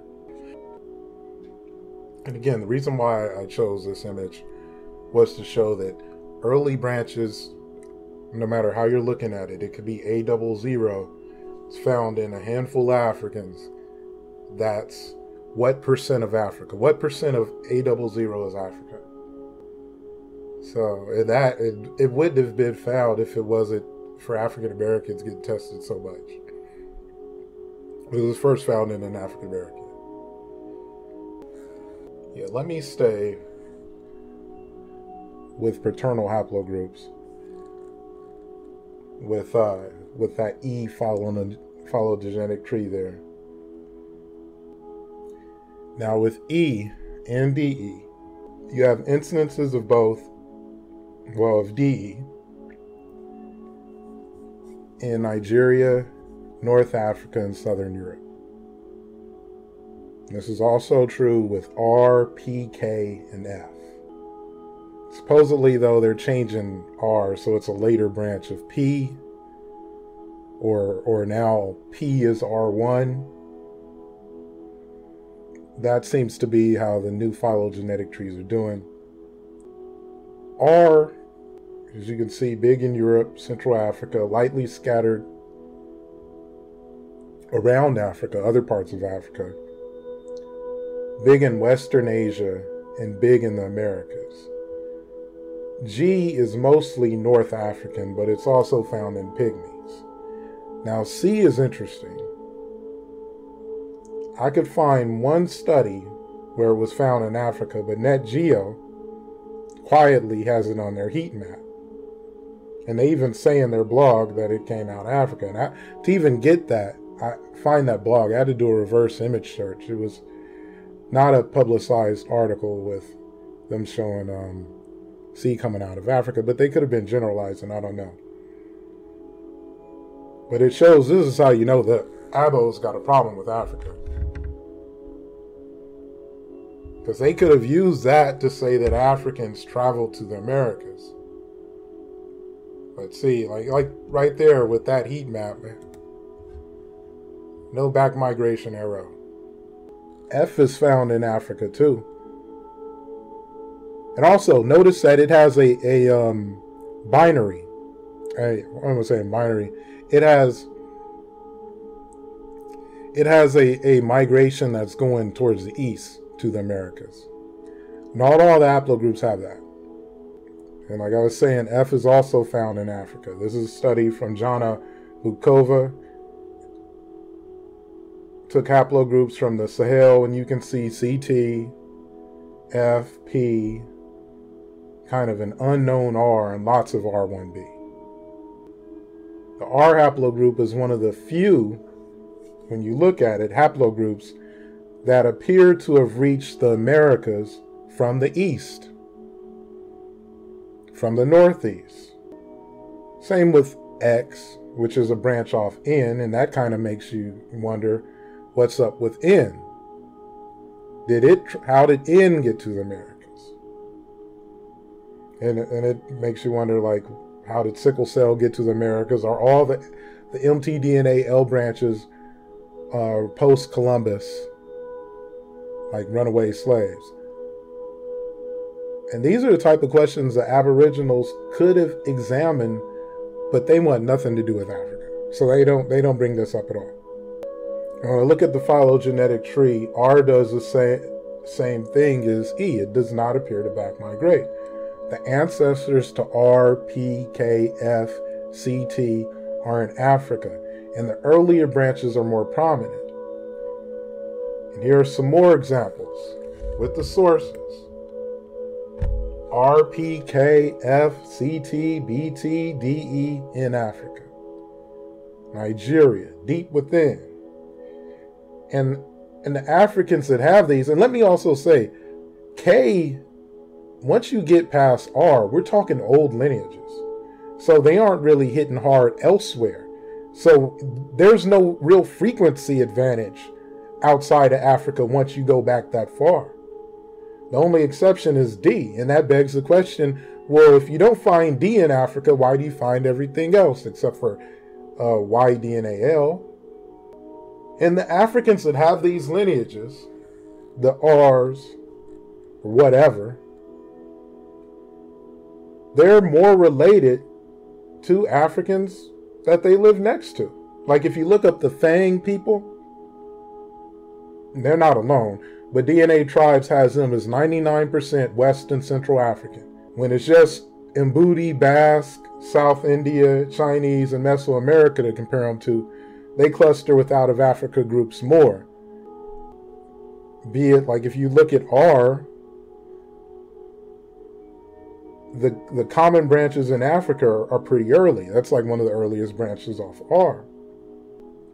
What's interesting though is like if you look at the Fang, they're closer to Asians, like the Indians, they're closer to the Asians than the Europeans. So if they're inheriting all of that lineage from Europe, why are they closer to Asians? That shows that they're not. And the lack of K, period, shows that it's strained through this phylogenetic tree. This is where it's going. This is another example that doesn't follow back, um, back migration. This is what they, I had mentioned to Garfield. If you look at Tunisia, they do kind of look like Native Americans. So, but I'll, I'll cover that when I get to what do North Africans look like. What are North Africans?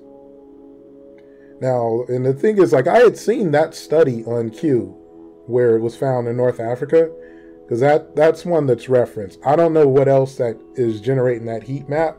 It looks like it's coming from Tunisia. The study, and let me put that study up. Yeah, the study, and here and see here, right here, you see that it's uh the European branches, the ones that aren't in Africa, are the ones that are newer, more recent. But Q, these Native American genes are scattered all around. You see it in Egypt right there with Q being in Egypt. You saw with the other map with, with C. But look what DNA consult- consultants saying that um, African originated STRs were in Mayas. Now, this is like 40,000 years ago, right? But these STRs were in, in, in um, these Native American, well, they say African originated STRs were in Egyptians and Mayas. Now, unless because these STRs, I could be wrong about their age. I'm thinking like 40,000. They're old, right? Now, if if you're gonna say Egyptians were, were going to America, setting up shop, my problem with that is I'm seeing out of Africa patterns that you cannot pin on back migration. These genes, these Native American genes are in Africa because the haplogroups are in Africa. And we're talking, um, this was in the Amarna family. The, the, this DNA consultants, they're talking about, actually, I think this might be modern Egyptians where they have it. But even if you look at some of the other, like, like, like if you look at the chart, this is a very, this is very important. Listen, quiet, be quiet while I'm talking. The graph shows genetic continual cores with Africans having all percentages of everything. Continental cores, I said continual, including Mesoamerica blue. It's from DNA tribes. And you see this with their SNP breakdowns too. They got a little bit of, of Mesoamerica. And that's the thing. These are we we typically don't have to go back to um, where mutations occur. We just look at frequency of mutations. So even something that's um, African originated, like the STRs from the DNA consultants, it's it's how it shows up in Native Americans that define the population, not if it shows up in, in Native Americans or Africans. Most of what what shows up everywhere is in Africa. But it's not it doesn't show up in the same frequency in the same combination. And there's you know different levels of exclusiveness. But that's the thing like like when um, garfield said you know what about mutations you're typically not looking for exclusive mutations as much as you are the way they combine with each other.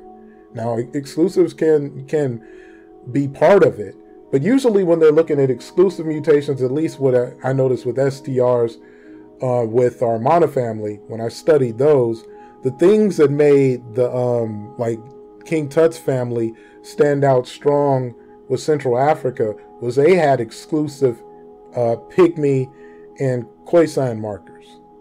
They had stuff from everybody. You know, they they existed as you would think North Africans betwixt um, Africa, Europe. They had stuff from everybody. But what would have made them show up strong with sub Saharan Africans was they had markers from recent pygmy and multiple types. Recent. And people say, well, they, they weren't short. Oh, okay. I've had somebody run that one at me. Dude, everybody has pygmy markers. And that's the thing. Most, like with genetics, everybody pretty much has close to the same thing.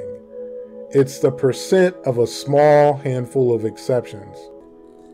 You get out to Australia and, and all them places, and then these lineages will blow up and they'll have all the diversity in the last 30,000 years. Nobody's arguing with that. I'm talking about where were they early? And what do you see on the phylogenetic tree? Because that is substantiated when you see these STRs and you see that Africans are like um, 0 to 1.5% Native American. It's not, and I used to entertain that it could be people coming back and forth and all that. That's not, uh, I mean, I will say though that the, um, the way Africa is modeled as the, the Homo sapien family tree with damn near all the branches, it does make it difficult to identify well, what if there was back and forth trade in ancient time and people from the Americas came to, to Africa? And actually, the, the Abos do cite some evidence of that. I just don't think it's, I think it's overplayed. Completely overplayed. To the point where, like, I know a, um, I know a woman who did a 23andMe test and she was almost all Portuguese. But she was 1% Native American, and she's thinking because they brought some Native American slaves. And I'm thinking, no, it's just the substructure of ancient Portugal. That you have those old sea lineages types of C lineages, maybe A2, and they go up into Portugal. Now, if you look at this chart at the bottom, and this is, like I said, this is very important. You see that Mesoamerican. Now, if you look at Ramses III's MLI scores, he had a stronger match with the Salishan and Matismo in America than Arabians right across the Red Sea. That's the difference with STRs and SNPs. SNPs, I doubt you would see anything like that. But STRs are more, hey, do you have that same pygmy? You know, it's it goes back more to to the substructure. It seems as if, like if you look at uh, the STR tests on Egyptians compared to Abu Sir, that STR favors where you came from, while SNPs are favorite who you're who you're mixing with. And that's always been the case. Like if I taken it, I've took well, I took a DNA tribes STR and SNP test. My um, STR test don't tell me what I mix with worth a damn, but it probably gives me the best indication of what tribe I came from. Now, if you look at the the Egyptians that were tested, they they hit strong with the the Somali. They hit strong with with with the Karamojong. But it's really difficult to even say with that who they they come from, other than the objective pygmy genes that are exclusive to pygmy. So you know, and, and damn everybody has some pygmy substructure to them. And they also had it with, um, and that, that goes back to, I did a video, The Truth About Ancient Egyptian Genetics. That might be one to, to get into before, um, to better understand out of Africa 3. And now let me get to the mtDNA. This is mtDNA A and you see it in West Africa. This is the one where Clyde was was looking at him. He pulls out, and then he said all the haplogroups are African after that. I, I, that's why he said it. I bet that's why he said it. He was he, he was like, "I'll be damn a Mende woman with mtDNA, eh? Ain't near one I'm not gonna find." And really, it's only a handful that you don't see, at least in you know in the minuscule amount. But I tell you what, all of them are bigger than A double O. So that's the thing. You got to really keep context and you have to um, factor proportions because of just how ridiculously diverse and how much competition there is in the human family tree as opposed to Siberia. You know, like I'm talking the difference between Siberia and Africa is if a flower dropped off a leaf off of a tree. You know, maybe even a flower, a leaf or a flower. Depending on where you're at in Siberia, because it must be someplace where people stick around. Hey, and if you get used to living with seals, I'm not gonna, I'm not gonna, gonna, gonna uh, judge you. If you get used to living with seals, I, I'd probably have a lot of fun playing with the seals. Now, here's the earliest, you go, back to uh, the ancestor of A is N. Now, I showed you N earlier with that, that map that, uh, that had all the L's with uh, N and M. Now, this is from Jenny. Genie, they're a genetic ancestry company. This is their heat map for N. And that's the one where I look at it and I'm like, how did that get to the Americas? Because you can barely see it. It's in Brazil. Were Berbers traveling to the Americas? Were early Europeans? I would explain R going in that direction. I would explain early Africans. Uh, well, with one in Brazil, but you don't see the the male lineages, and it's light. But I I do wonder. And if you look A A2, the one that's found is about that's the earliest branch of A. Anything earlier is N, and N is in Africa. Ancestor for N is L3. L3 is all over Africa. You know, and this is what Wikipedia says about N. It says the rare basal haplogroup N star has been found among fossils, and the star basically means undifferentiated found among fossils belonging to Cardial and epicardial cultures, cardium pottery, and pre pottery Neolithic. Basal N star now occurs its highest frequency among the Soqotri. The Soqotri, I think, are in Yemen offhand. N star means undifferentiated, but they're calling it basal when they're talking about Asians having it. They next say undifferentiated haplogroup N is especially common in the Horn of Africa, constituting around 20% of maternal lineages among Somali. It's also low frequency among Algerians and Reguibate Saharaui. So N undifferentiated is not basal, it's unknown, which typically does mean it is basal or it's early, but not always. It's just they um, call it something different, um, but I'm not, you know, whatever, because at least they, to me, it's more like they cleared it up. But it's not when they by calling it basal, technically it's not. It, it means they don't know where to identify it on the scale.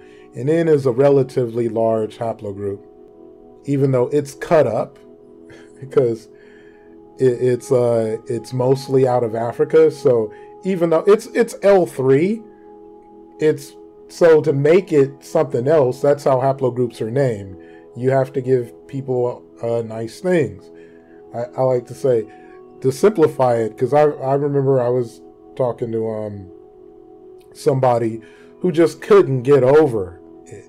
Like I mean she just couldn't get over it. N is L3. Ah, I'm forgetting her name. Was it? Yeah, it was Matakita. I talked about her in my last video. But yeah, N is L3. It's a branch off L3, given different names to identify populations because it left Africa. Digital Commons has a copy of, of an ancestry study on unmarked graves in Georgia of an African graveyard, and here's a link to that. It shows African Americans brought U and H to America, and that should come as no surprise. This is H in Africa. And if you look, there's another study with the source below it. Africa at its at a high percentage. It has an ancestor. Right, and you can look at a source below it. This is H in Africa, excuse me. If you look at the study on the left with the source below it, it is in Africa at a high percentage in Burkina Faso with HV. HV is an ancestor to H and V. What the study in the middle shows is North Africa. North Africa has the most diversity of H. So you have the ancestor to H in Central West Africa and the most diversity in Africa along with the highest frequency. And Wikipedia doesn't even entertain this because we're not editing it. That like you look up Wikipedia and it'll say it didn't start in Africa, but the ancestor to H is right there. High, I mean, in this for an old um, basal haplogroup like HV, that's awfully high frequency out of the people that were tested.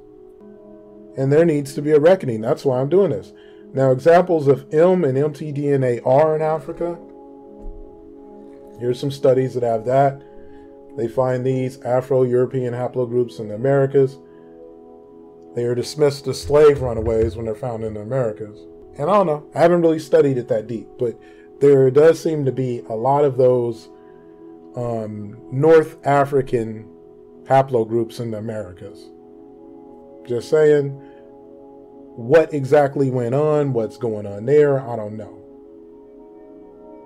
it's just it's interesting because the the um, abos would rather instead of using that they'd rather argue the DNA is a hoax. Now let's keep it going.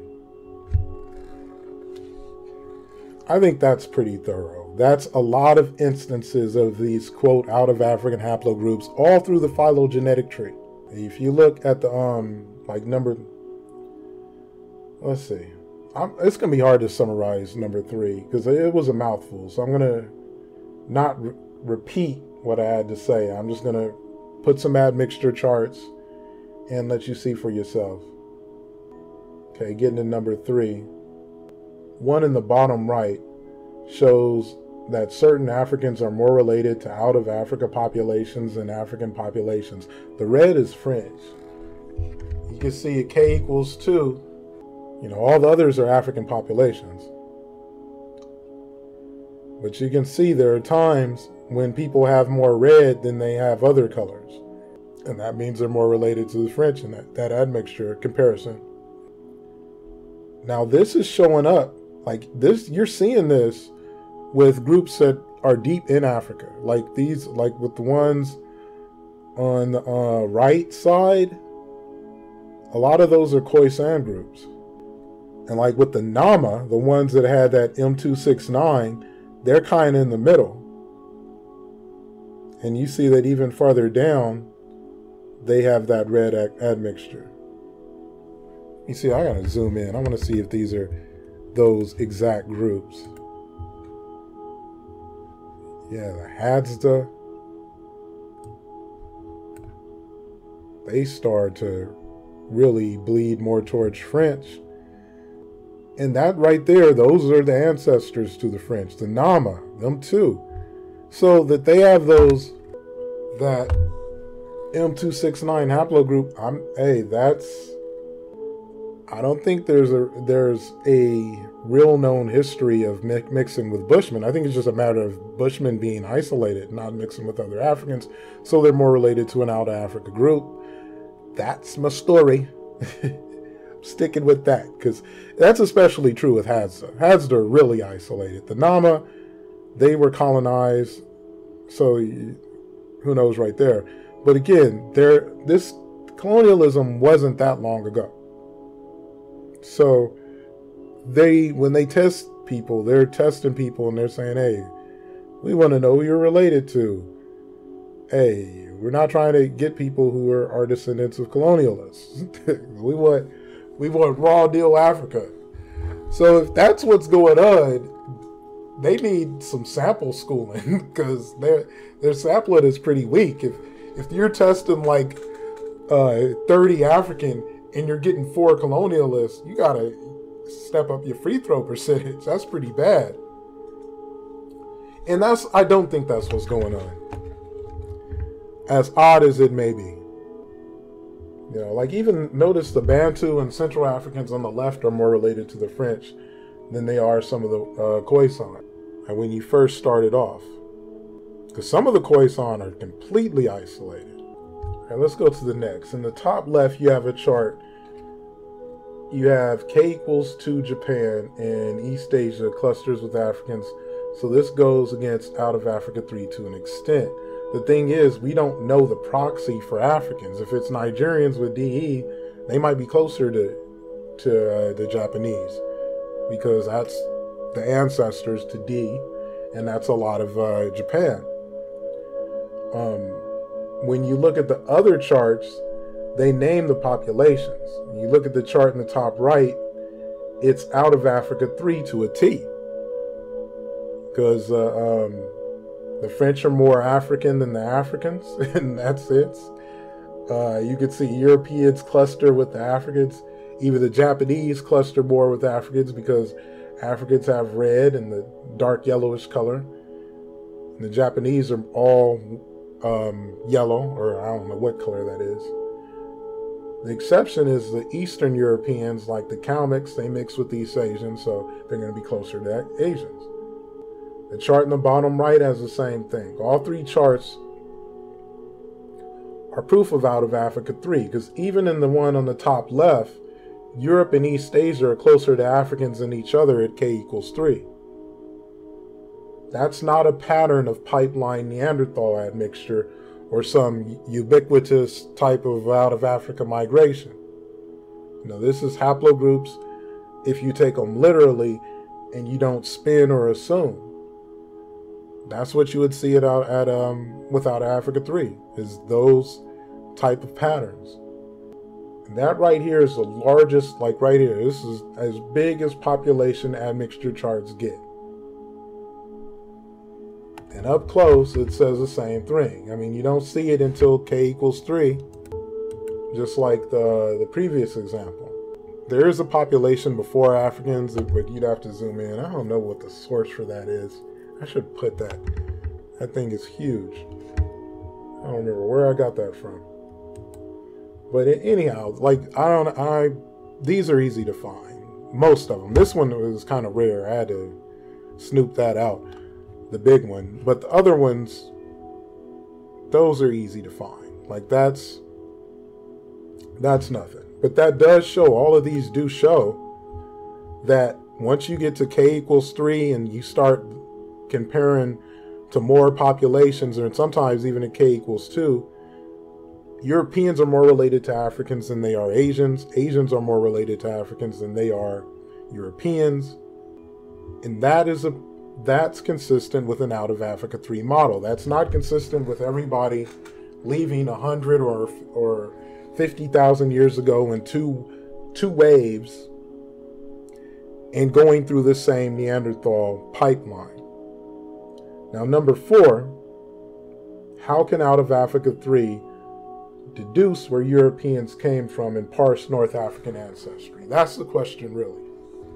And this, again, this is for Black YouTube, for Deidre McIntyre. You know, because it's interesting. I was um in I was debating Deidre McIntyre about the way ancient Egyptians would be depicted because I'm with the movie script and all.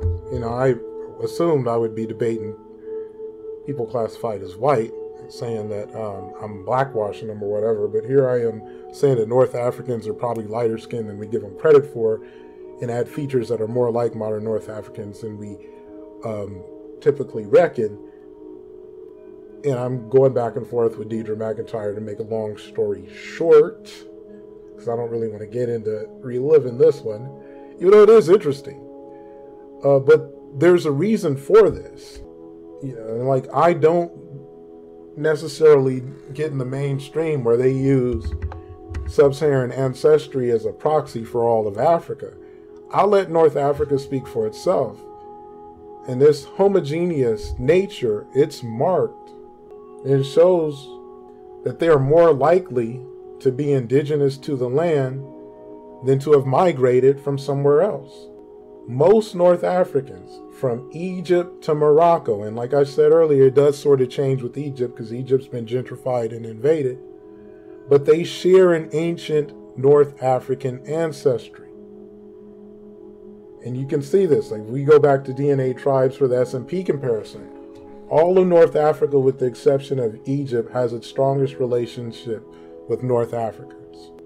You can see the amount of Arabian increasing as you get towards Arabia.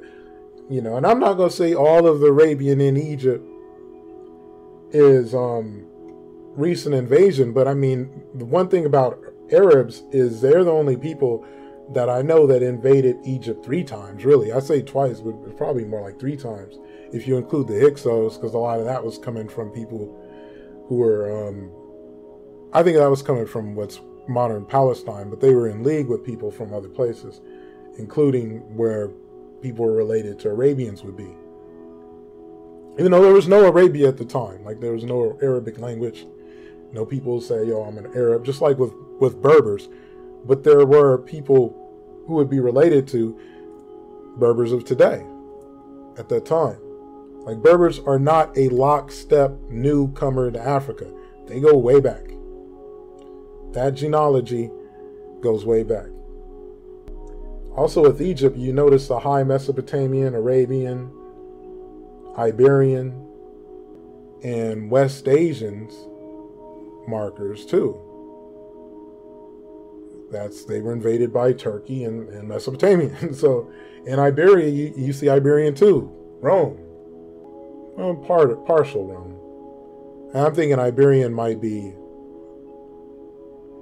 uh, or the Med, you know, because Iberia, that's Spain. So I'm not sure what um, Iberian may be, but I mean, it's 1 to 3, 2.2%.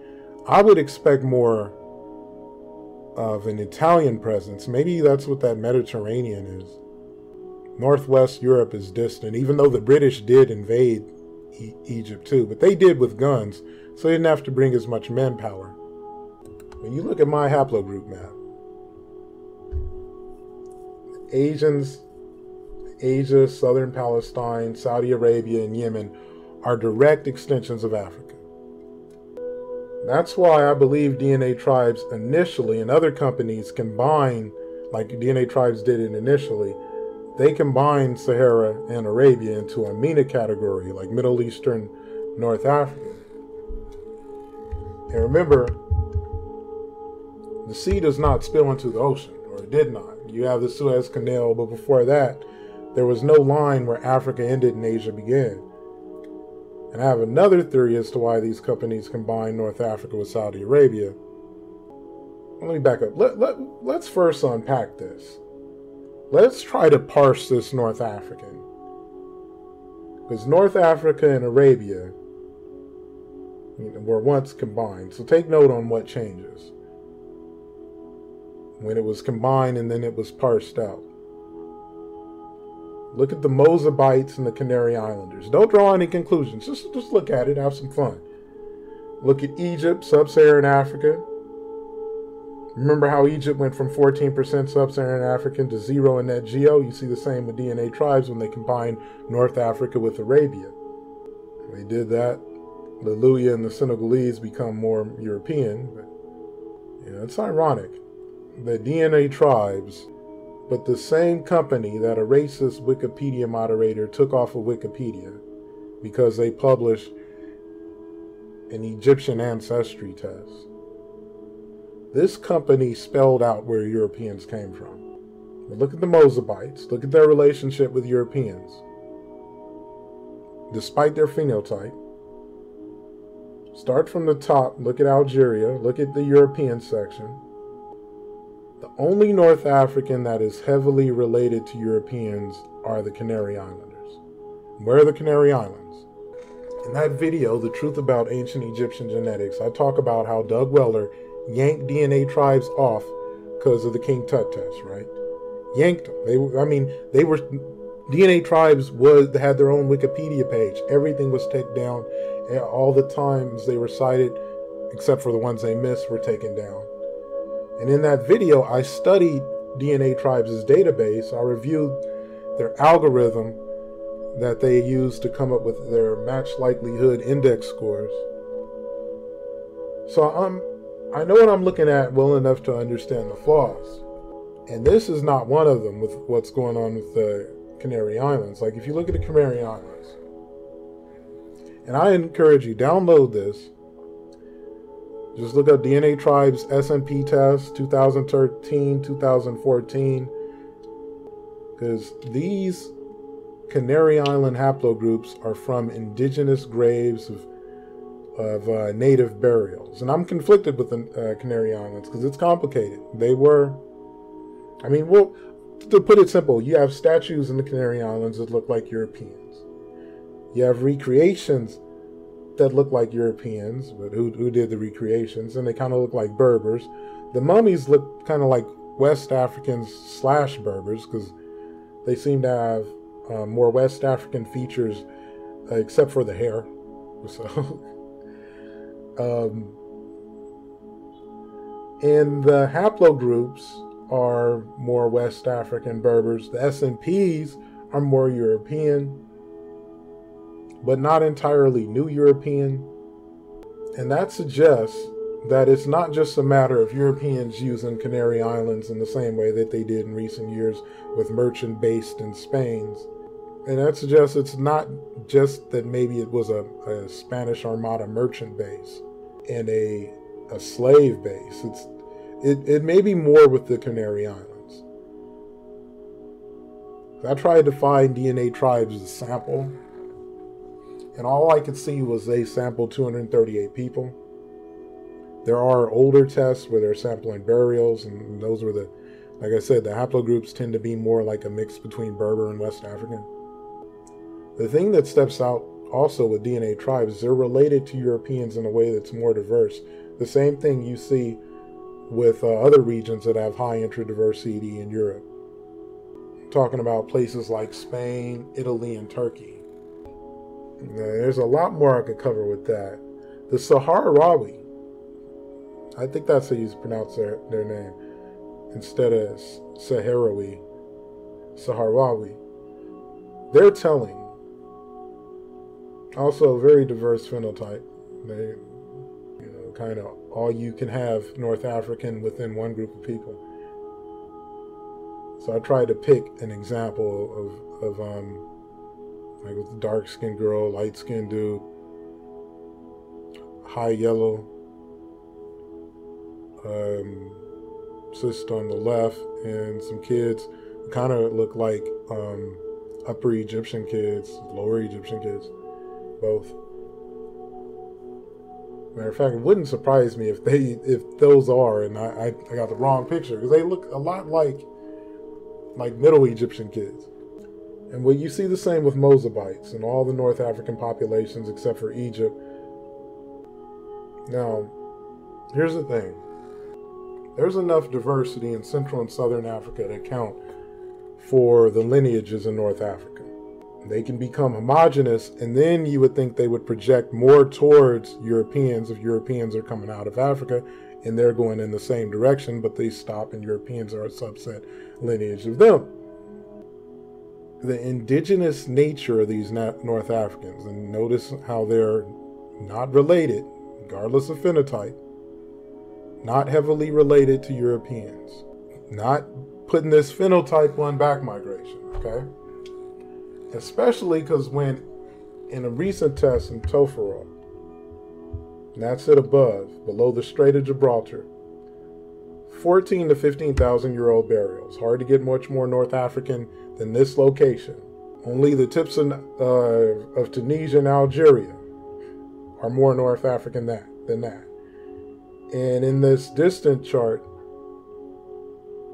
only the tips of um, only the tips of Tunisia and Algeria are more North African. And in this distance chart, Taforalt are betwixt Darfur and Yemeni, which project more towards ancient Europeans and North Africans. The narrative in the study claim they are between North Africans and Sub-Saharan Africans. Let me repeat that. It says they are between North Africans and Sub-Saharan Africans modern North Africans and sub Saharan Africans. That's the North Africans from 14,000 years ago. You see that they're most closely related to Tafar, uh, Taforalt to Afar. Also, Yemeni is kind of close too, but they're projecting in the direction of Europeans. This demonstrates what I predicted. Ancient North African ancestry projects more towards European groups as Europeans are primarily and majorly a subset of North African ancestry. So they project towards Europeans, though they are closer to the Africans, like the Afar. And, you know, after the Afar, you got the Yemeni, who are the most Africanized Asians on the planet. West Africans are near equal distance, similar to the way they are with modern North Moroccans.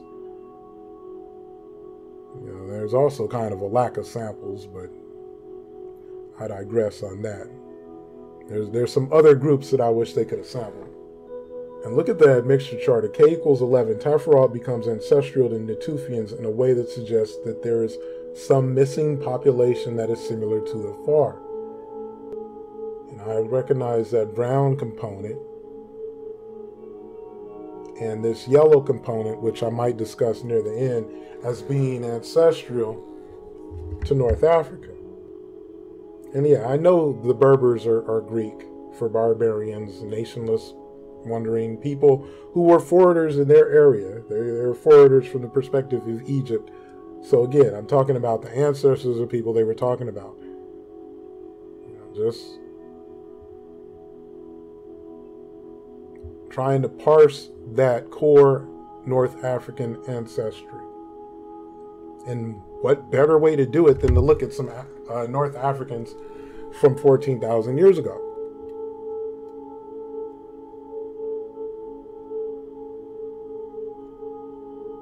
I think when Deidre McIntyre was talking to me, her main issue was phenotype. Not, you know, she'd been fine with Taforalt. But notice Luxmanda the, from the ancient Tanzanian burials is estimated 5,000 years ago. They appear to be an ancestor at K equals 11 because they have the most diversity and the same brown component.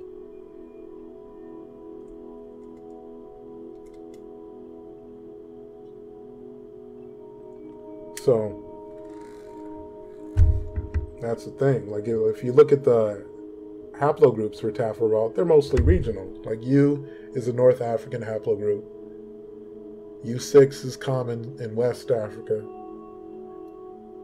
E1B1B, North Africa. It's in, if you look at the uh, phylogenetic tree or the phylogeny, M1B out of L3 Africa.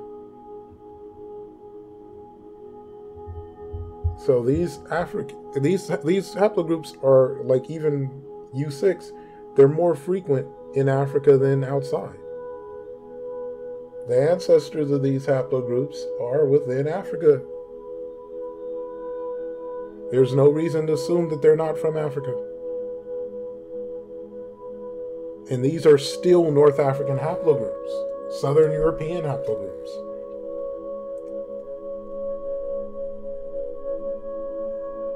There's no reason to assume that these aren't from Africa. U is found all over. You know, U6 is most common in Africa. U is kind of a, to me, it's a haplogroup that is just Afrasian. Like it, it's so borderline. It, I'm not finna to argue about where U in Africa. U is kind of a, to me, it's a haplogroup that is just Afrasian. Like it, it's so borderline. It, I'm not finna to argue about where you came from. You know, U is, you could be right on the border of Palestine and Egypt. You could be southern Italy. It could be Algeria. It could be west. It and it's old, so it had time to travel. And technically, it's still just a branch off of, of uh, L3. Yeah, it's it's um I think the oldest instance is in Siberia, but that's like somebody was tested near Siberia. But that's a branch that's kind of divergent that you don't see in Africa anyway. Like you mostly see other U branches. So not an instance of Siberian back migration anyway. It's a it's a a lineage that goes in multiple directions.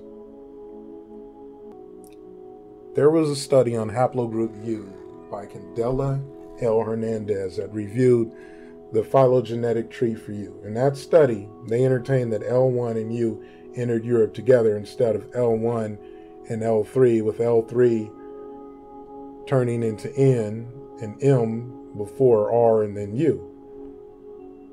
U was such a North African haplogroup that the idea that it broke its haplogroup R into Southern and Eastern Europe to West Asia, mutated, and came back to Africa isn't far fetched. It's very much on the borderline.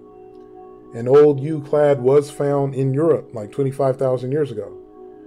So either way, I don't think either is likely or the other is likely. U is one of the on the bubble, I don't know haplogroups because the ancestor for U, R, is prominent in East Africa. I'm talking mtDNAR. So the notion that an East African group like the Afar, who are related to North Africans, related to Taforalt, brought R or U into West Africa, it's sound too. Either works. You know, that's why I'm kind of on some I don't know, because European Sera lineages with ancient Berberish North African ancestry. You don't need for Europeans to have left Africa. Like either works.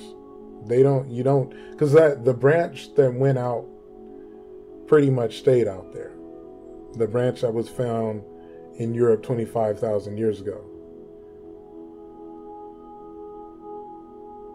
So you really don't need Europeans to have gone up to the cold lands, cooked, and came back. Their lineages are through Berbers in Africa anyway. And English and Germans aren't really related to Caucasians like that. Humans, as you can see, are not cold adapted. If these skinny women right here, if they don't if they don't jacket's fur for a jacket, then they're gonna freeze to death. All of them are gonna freeze to death.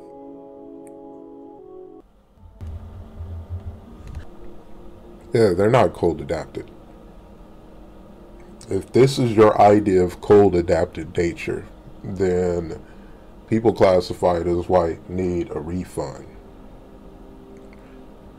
If you look at it, the uh, proportions of European ancestry, the majority is coming from a farmer class. Now, not all necessarily, not all of them necessarily were farmers, but it is a class that is so recent that it incorporates farmers. So they'll call it early European farmers. This is of the Neolithic. So you're seeing that projection with Taforalt, even though Taforalt doesn't really have European ancestry outside of splitting from Berbers. Lack of a better term, ancient North Africans. Ancient Mina, Middle Eastern North Africans. So that genetic closeness that you see with North Africans, it's felt with Central and West Africans in the past. For real. Like this is um this is addressed by Skoglund in a let me just read from the slide. Recent study it says proposed evolutionary models for african genetic structure. A western african groups have ancestral ancestry from a basal western lineage. The major source of Western African ancestry, WA2, is more related to Eastern Africans and non Africans than Southern Africans. Khoisan.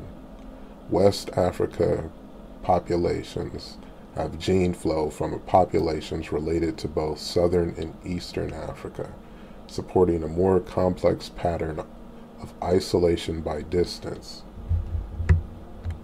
And that is a picture of the model. Give that to the We Was Kings crowd. And this is really, this is in line with uh, most West African stories about where they came from. They talk about migrating from the east. This is in line with the GPS that I took. But then even the WA1 is also evident because you have West African groups that were in at West Africa for a while before. I mean, that's maybe the oldest people when you consider that's where A double zero is found, first found in an African American. But the majority of ancestry is migrating from the east. That's why they're drawing a picture that's coming out of the Sudan mostly. And that's the same thing you see with, um, and they'll list all the areas with, uh, like Balanta oral history. They say they came from the Nile, the area of the Sudan, Egypt, and Ethiopia.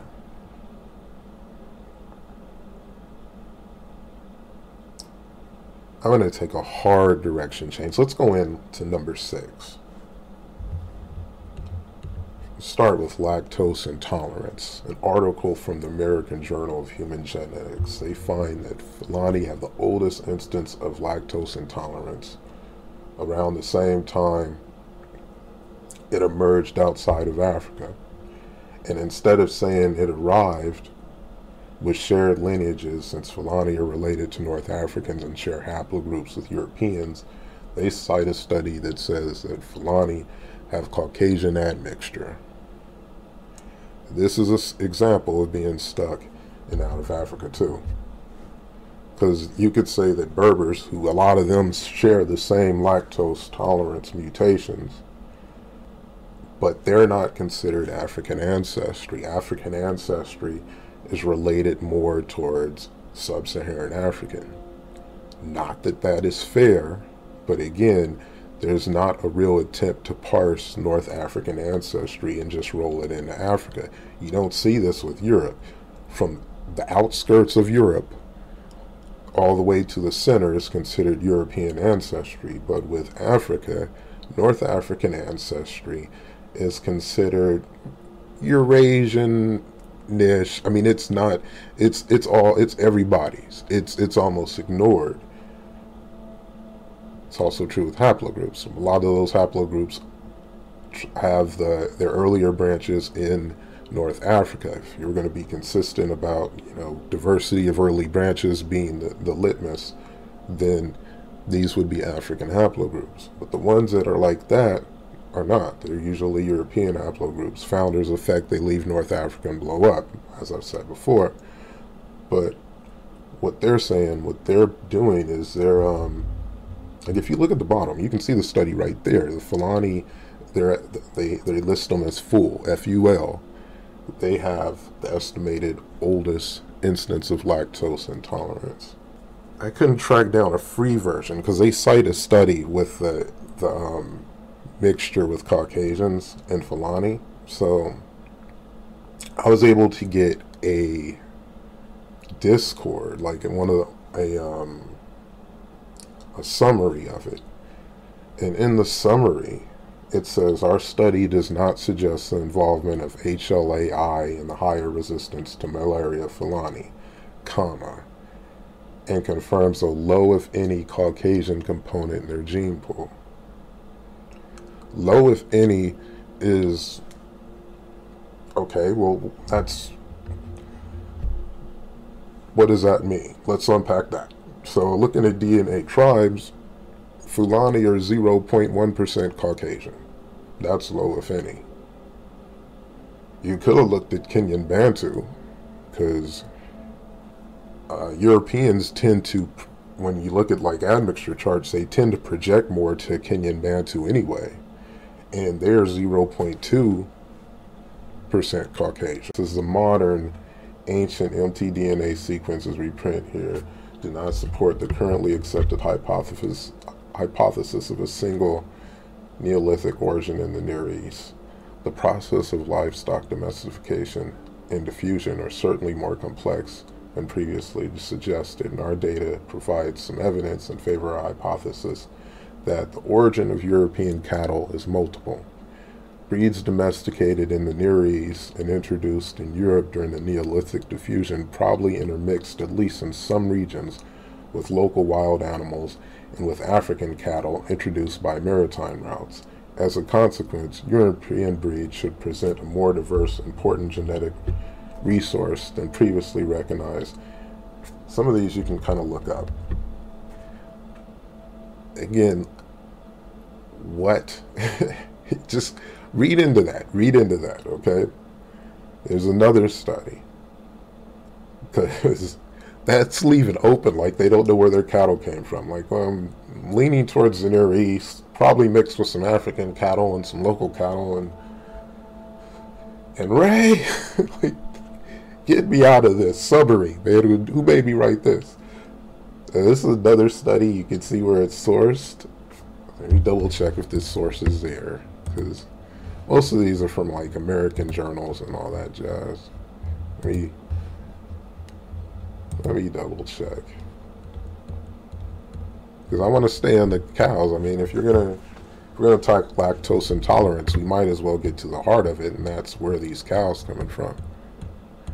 And there are genetic studies done on cows origins of these cows. And they start, the cows start going back to Africa too. You'll see in a moment. That's why you have that waffle talk. Yeah. It's PNAS. National Academy of Science. And uh, you can see the title and the link for it is right there. Now in this study, it says a sample of Neolithic and Bronze Age sites in Europe display all major haplogroups found in modern cattle. T1, T, or T, T1, T2, and T3. talking about cattle haplogroups.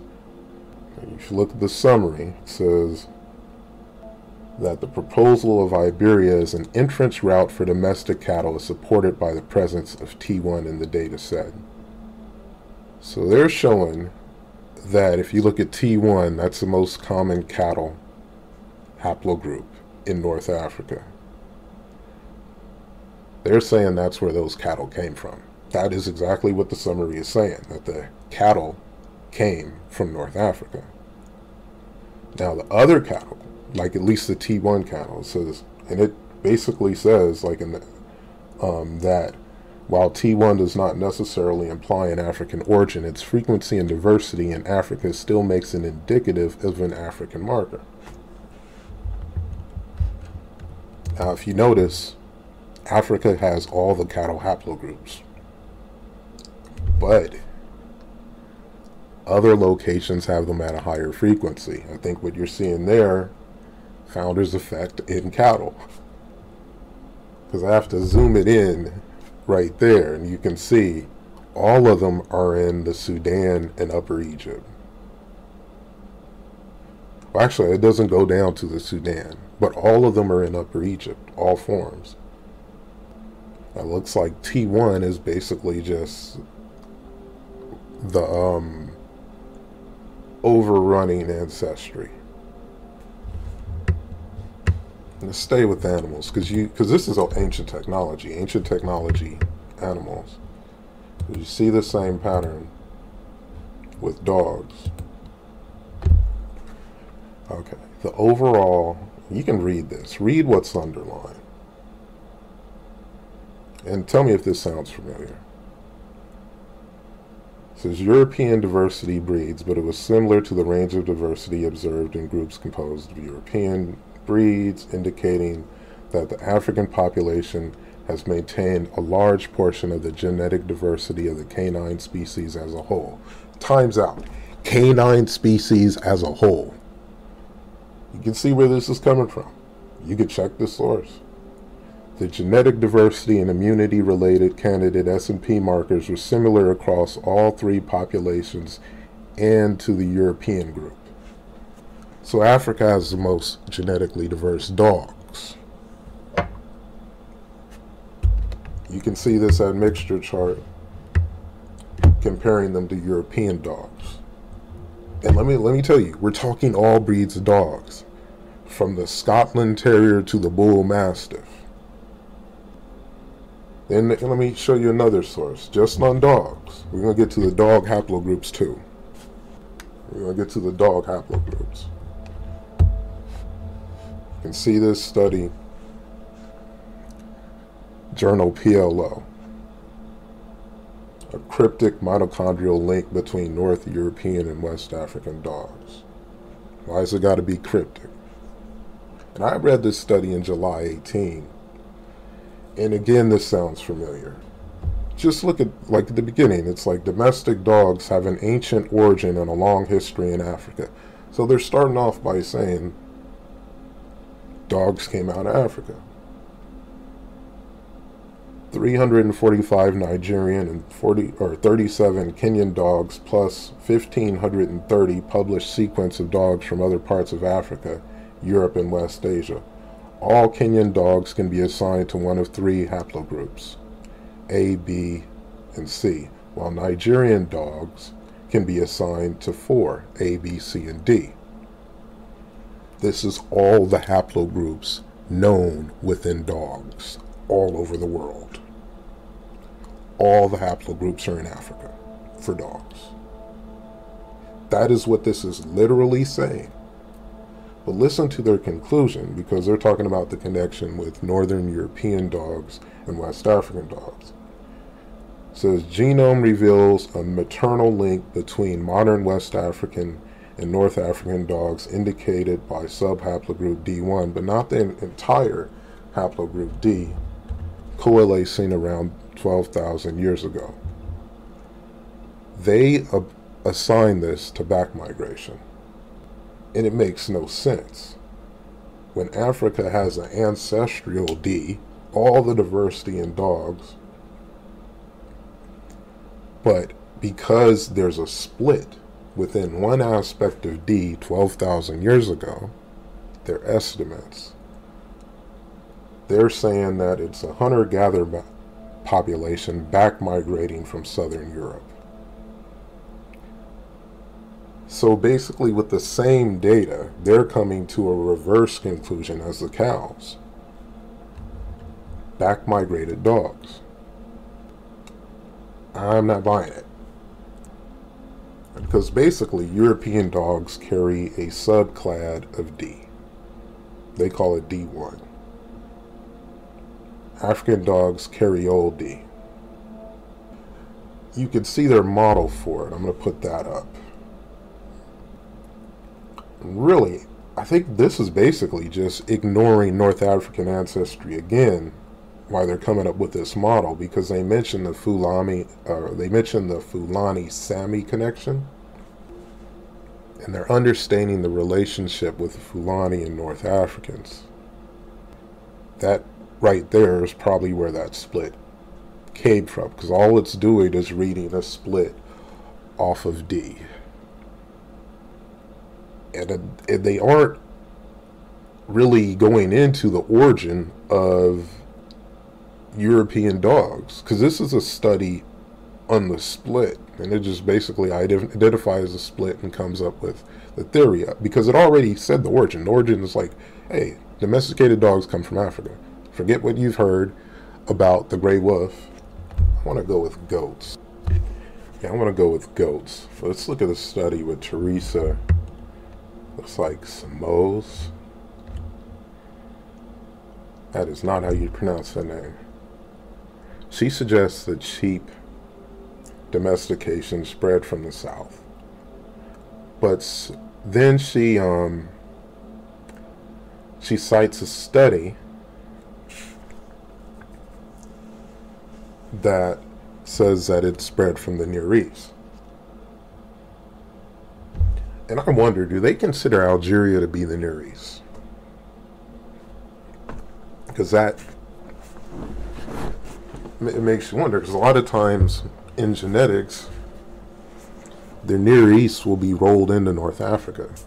I checked the first link.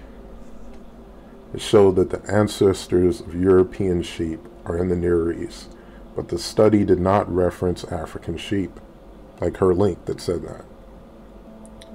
They named these new pioneering sheep the Mouflon. They were the um, the wild sheep of the Near East.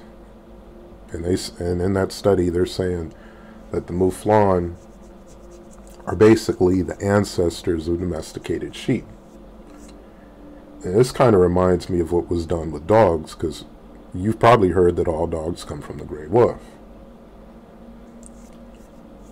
It reminds me of that because recently, like just 2015, the African jackal was determined to be, I mean, and that looks like a wolf. That does not look like a jackal. They're now called golden wolves, same species as gray wolf. Maybe an evolved color fit.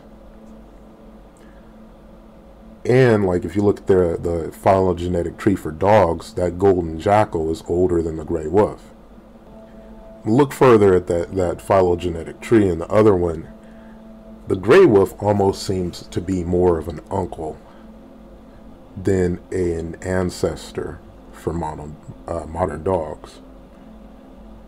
Because even the, the wild dog of Africa is older than the gray wolf. Like these are this this is a phylogenetic tree that is completely different than what we were taught eight years ago if you're, I'm just going by like the Discovery Channel, I say what mainstream science was teaching. So if you're picking that up, it's changed from what it seems. Stephen Copeland reported something similar about goats, that the Mouflon sheep were in the Sahara. So I looked at wild sheep, like the ones that the other report was saying in the Near East and I found that they have the Barbary sheep in the Sahara. You know, like the Barbary pirates, they have Barbary sheep. So I'm like, well, is, a, is this what's going on with the wolf and the jackal? Are they the same animal? same sheep. So I'm I tried to do a little research, and what I found is that supposedly I'm not going to read it. It's kind of boring. And a lot of technical terms because they link, like I look at the, I list how they're linked. They're linked as, um, but I mean, the Mouflon, they got, looks like they're standing in snow. And the African sheep's not going to see any snow. so you would think they might look a little different. Uh, again, that's why both wild sheep. So I'm like, okay, how are they different species, different genus? When did they separate? And I found a study. It's on ResearchGate. But look up this if I'm not if I'm not sourcing it right. Because it is a actually that is it. It's a complete neotide MTN, mtDNA sequence on Barbary sheep. And it lists what its uh, genus and species is. So according to this, to 10,000 or 9 million years ago, they split from goats. 12 million years ago, so we're talking a long time, they split from sheep. So they are a different species. So I don't know what this dude, Stefan Copeland, is talking about. I'm kind of at a stalemate. Because according to him, he's saying that the Mouflon exists in North Africa. Like, is he mistaking them from the Barbary sheep? What's going on? It begs the question. We have one person saying that it, it spread from the south because they're seeing a they're seeing domesticated sheep coming from southern Europe up. Spain, Italy up. But the source they're is saying the Near East from the Mouflon. Mouflon are not located south, south of Europe. There's another species of sheep completely distant from it. Yet you do hear uh, this fellow, he's saying that hey, they're they're in they're in North Africa. Stefan, I think it's pronounced Kreplin. You see an out of Africa pattern there. Now, give this one to the um, the Abos. Tell them to explain this. You can read what that report is saying. It goes with the oldest language, so you have the exclamation point. We don't have English letters. That's a click. I have a character who has a click name in a, a screenplay that I wrote. And at one point, somebody is hyping them up and they click real loud. Yeah, they damn near burst a uh, blood vessel clicking his name. Because he did something good for the people. So the Sioux has 141 phonemes and decreases as it moves to regions with less diversity. You're not seeing back migration with these languages until when? When are these languages coming back to Africa? You know, are we talking about back migration from ancient empires on? Because I'm I'm not really disagreeing with that. That's there's something to that. Because I had a friend who was um, who liked Hawaiian music, listened to a lot of wine music, and I asked him one day, "Are there any R sounds in your language?" And it stumped him. I was surprised it stumped him because I'm just listening to the music. I'm hearing no R sounds. There's a blog called Niger Congo European. That's it right there it talks about how Basque is closer to Niger-Congo languages than English. Campbell Dunn wrote a book on the relationship of European and Central North African languages. Hermel Hermstein wrote a book about the relationship with Niger-Congo and um, yeah, you're you're Asian. I mean, it's Sumer. Niger Congo is Sumer. That's kind of that's more Asian. West Asian. Saremhotep, he's done the same thing with Middle Egyptian, Tshiluba, and Sumerian recently. Even the person he debated recently, Nader he's done the same thing with Egyptian and Sumerian. And I remember Joshua from Team Cyrus was calling Nassar's work flawed because Niger Congo, according to the Greenberg model, is too distant from Sumer. Not according to Out of Africa 3. No. And really not according to the only language, African language families that I know of that have been constructed from ground up. Another thing we can maybe consider, and if you've ever played FIFA and you've had like Nigeria and Japan, you'll you'll see a lot of the same names or close to the same names. You know, like some Ikedas and Echoes. And you see some of the same names with their places. So people and places similar in names compared to other people, other uh, ethnicities talking Nigerians and Japan, Japanese. And if you Google that, you'll see people talking about it a lot, really. You know, note that they have a similar, that they're both tonal languages. They also share some words. Well, it might not be a coincidence because DE is in Nigeria. That is the ancestor for D. If you go back far enough in Japan, it'll take you to uh, Japanese genealogy. It's going to take you to people related to Nigerians.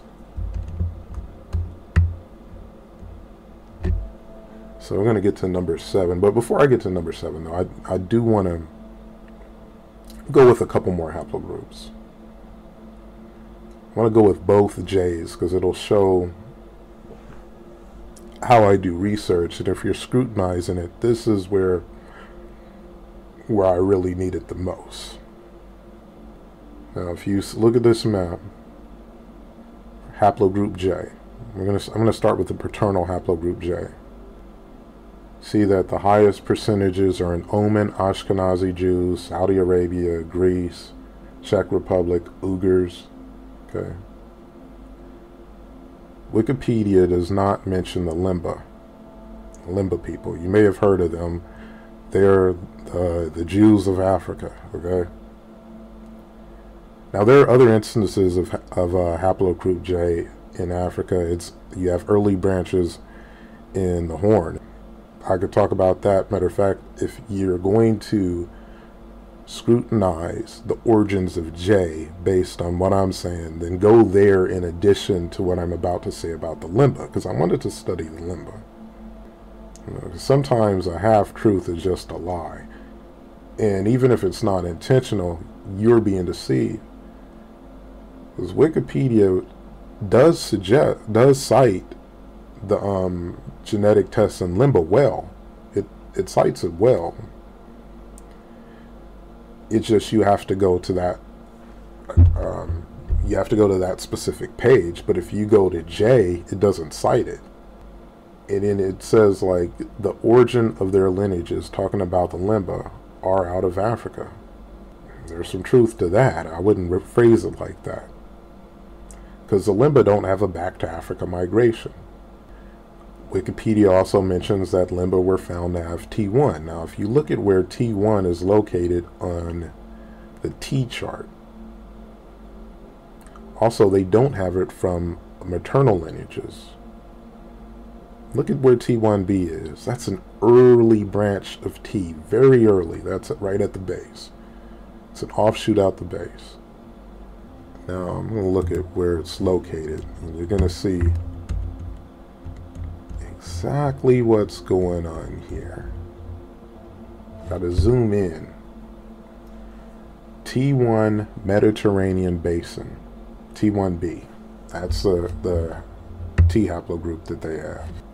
Now remember, Ashkenazi, they have a lot of the L branch in proportion to other Europeans. Matter of fact, they have a, a um, L branch that is specific to them. I gotta check. I haven't gotten the chance to, but I wonder if that L branch with Ashkenazi is also that. I figure somebody would have mentioned that, but let's look at J. Like let's because they also find a lot of J in the lemba. Like it says right there that two thirds of their lineages are from out of Africa groups.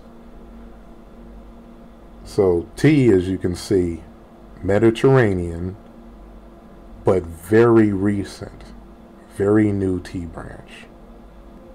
Now, they went, now when they first find J in the lemba, they don't have a place for it, so they just give it a star sign, which means undifferentiated. They don't know where it is on J. It's like, this is J, we don't know. So there was a person who wanted to find out a little bit more uh, about J, and you can see the link to this study. And I'm going to read a quick excerpt from that. He says, JM172 was further resolved into subhaplogroup J410 undifferentiated.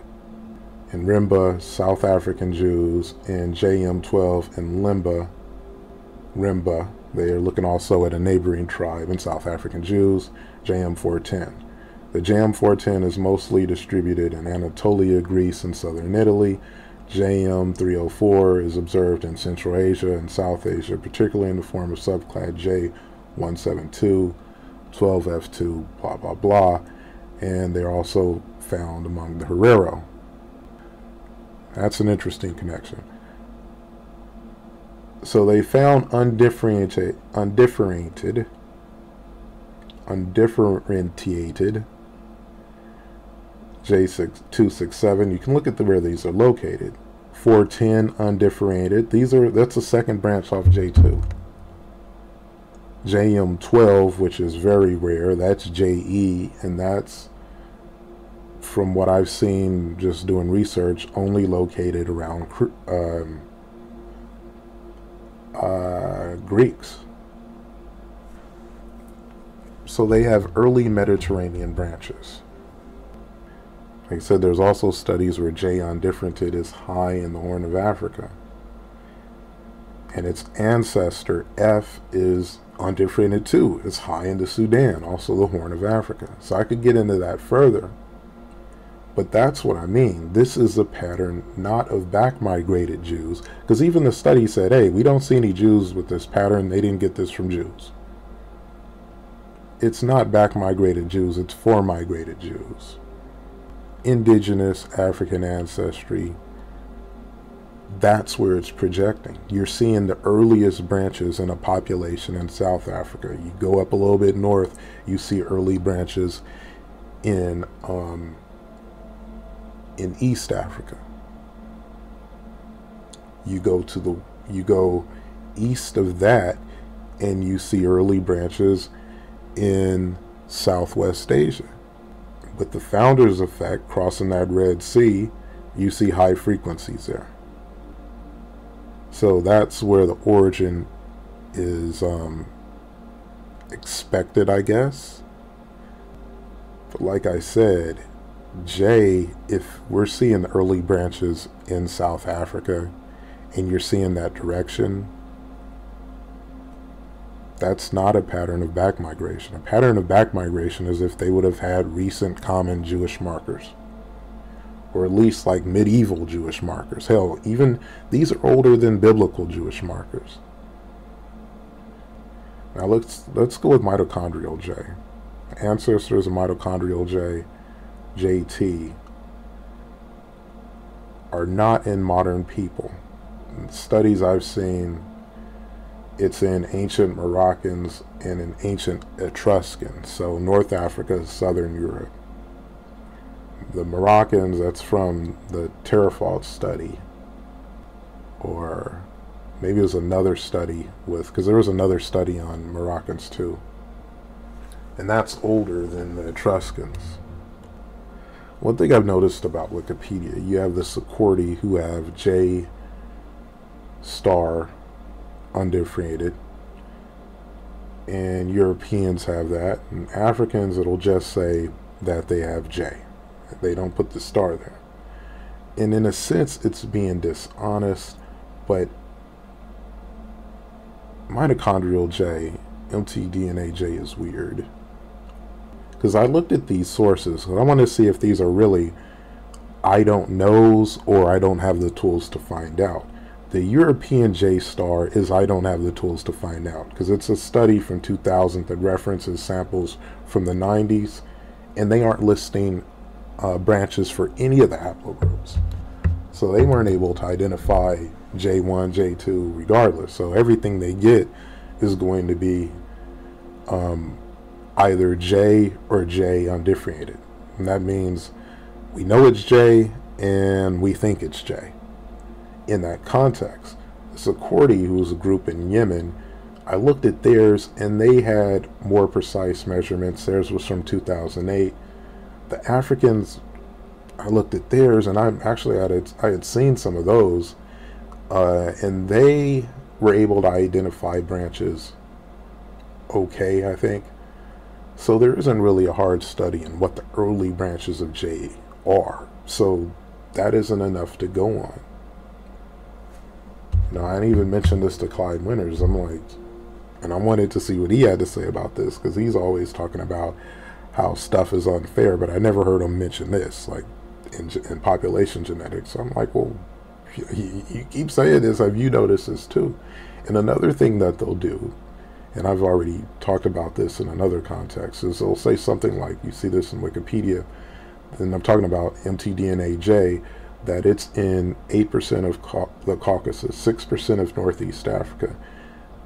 And they'll, they'll, you'll hear that without good context. Because context would imply, well, I mean, you kind of got to think, nobody really wants to live in the Caucasus. But Northeast Africa is Egypt, so there's a lot more competition in Egypt. 6% in Egypt speaks more towards an origin in that direction than 8% in the Caucasus.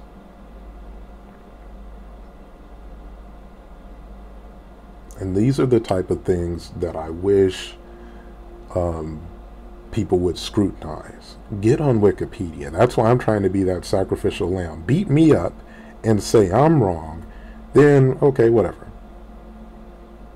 Okay, I might, you know, whatever. But if I'm not wrong, why are we dealing with Mfundishi and not this stuff?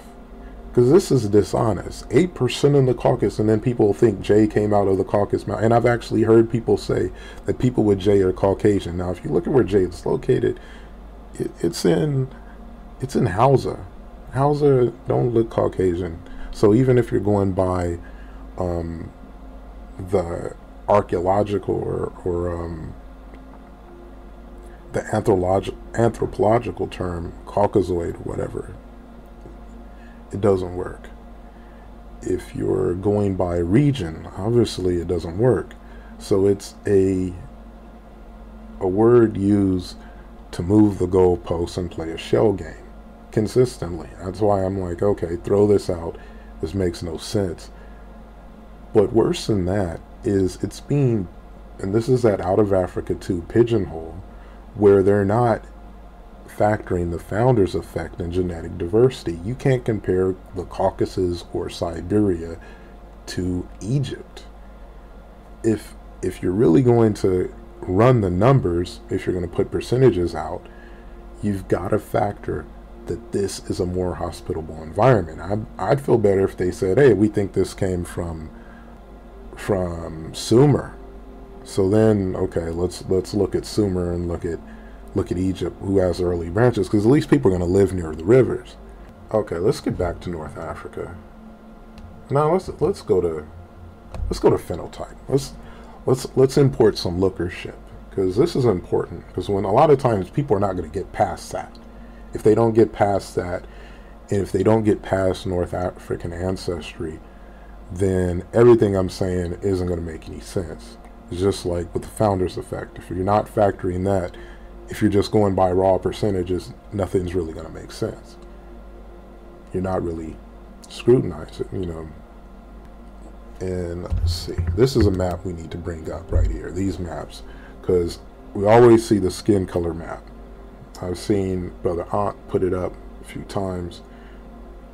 And you know, this is also YK the truth.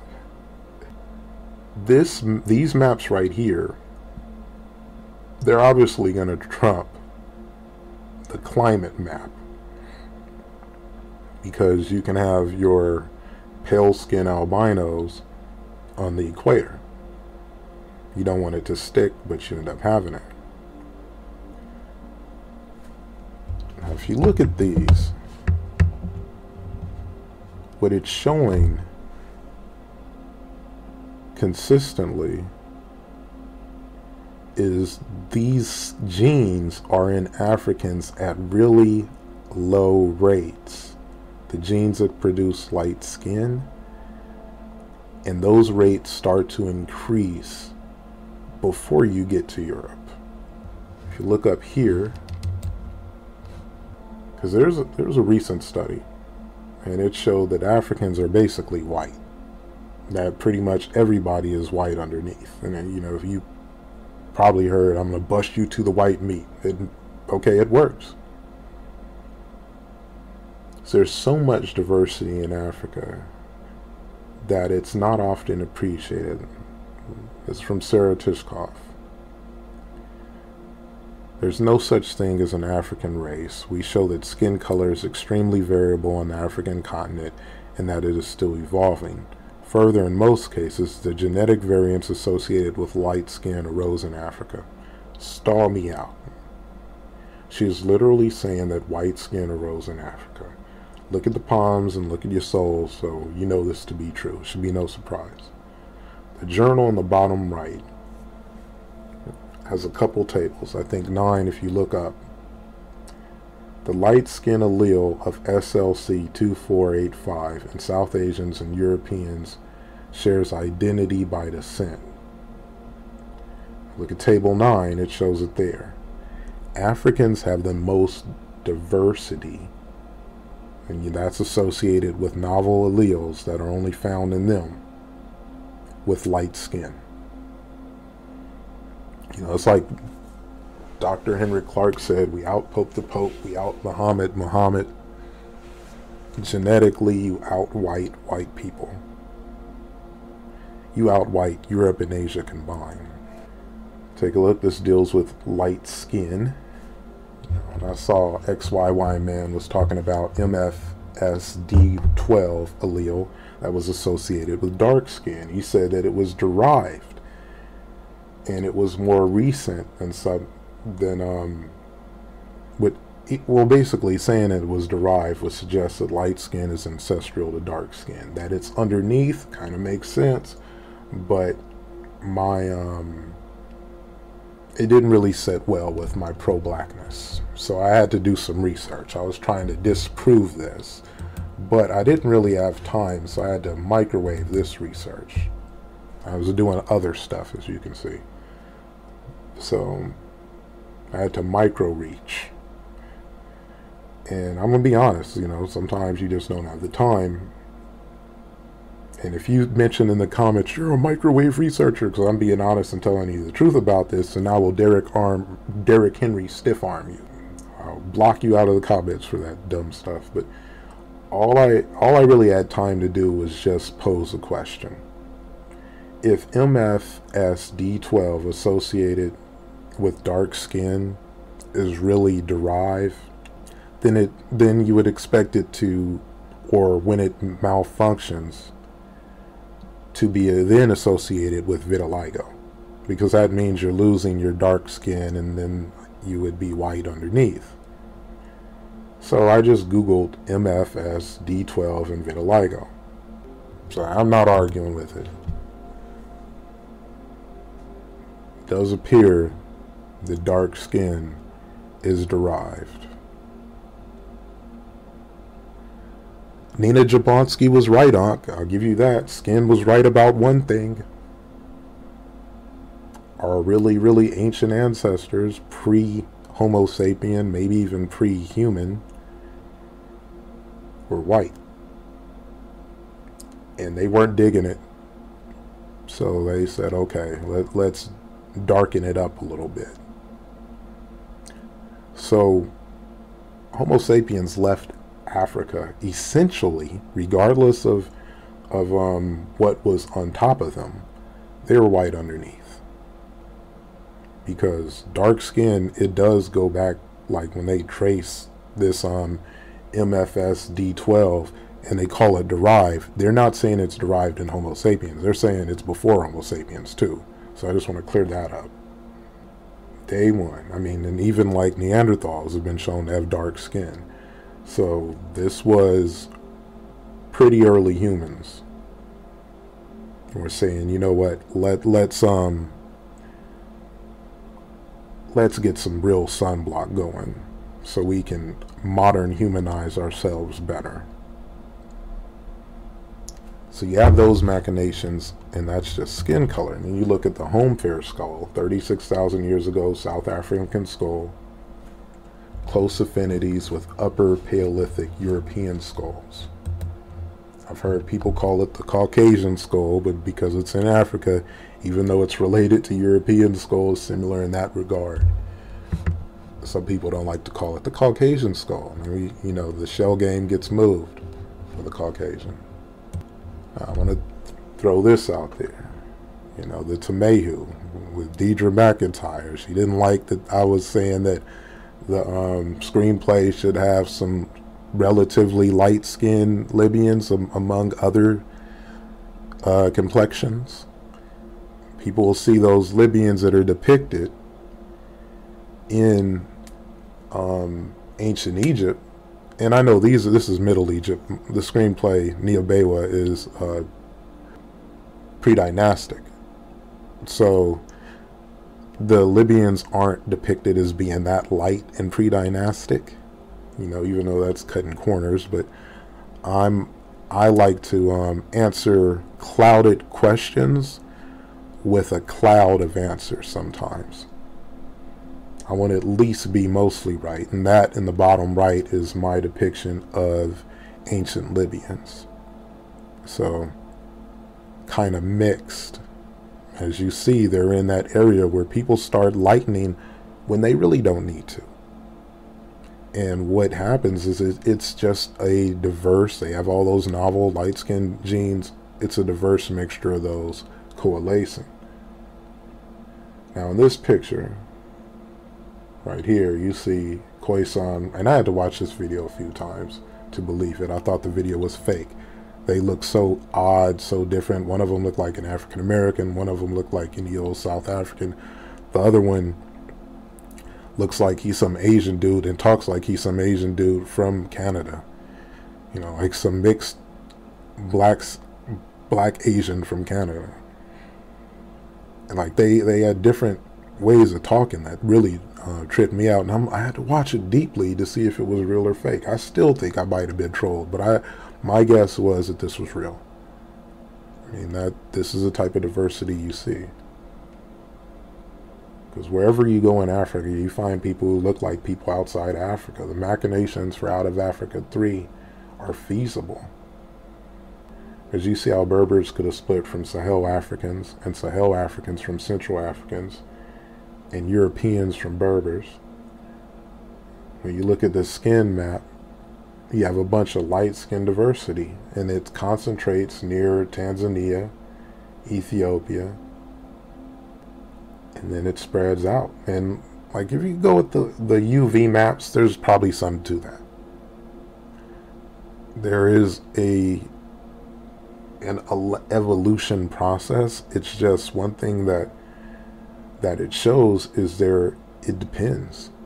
You know what i mean? Like it depends because well, let me let me get to some questions. Like if you look right there i think her name she's a model in the top right. You also see her in the bottom middle. Ethiopian albino. The kids somali albino. Samburu tribe, or and I think that's the Rendille in the top left.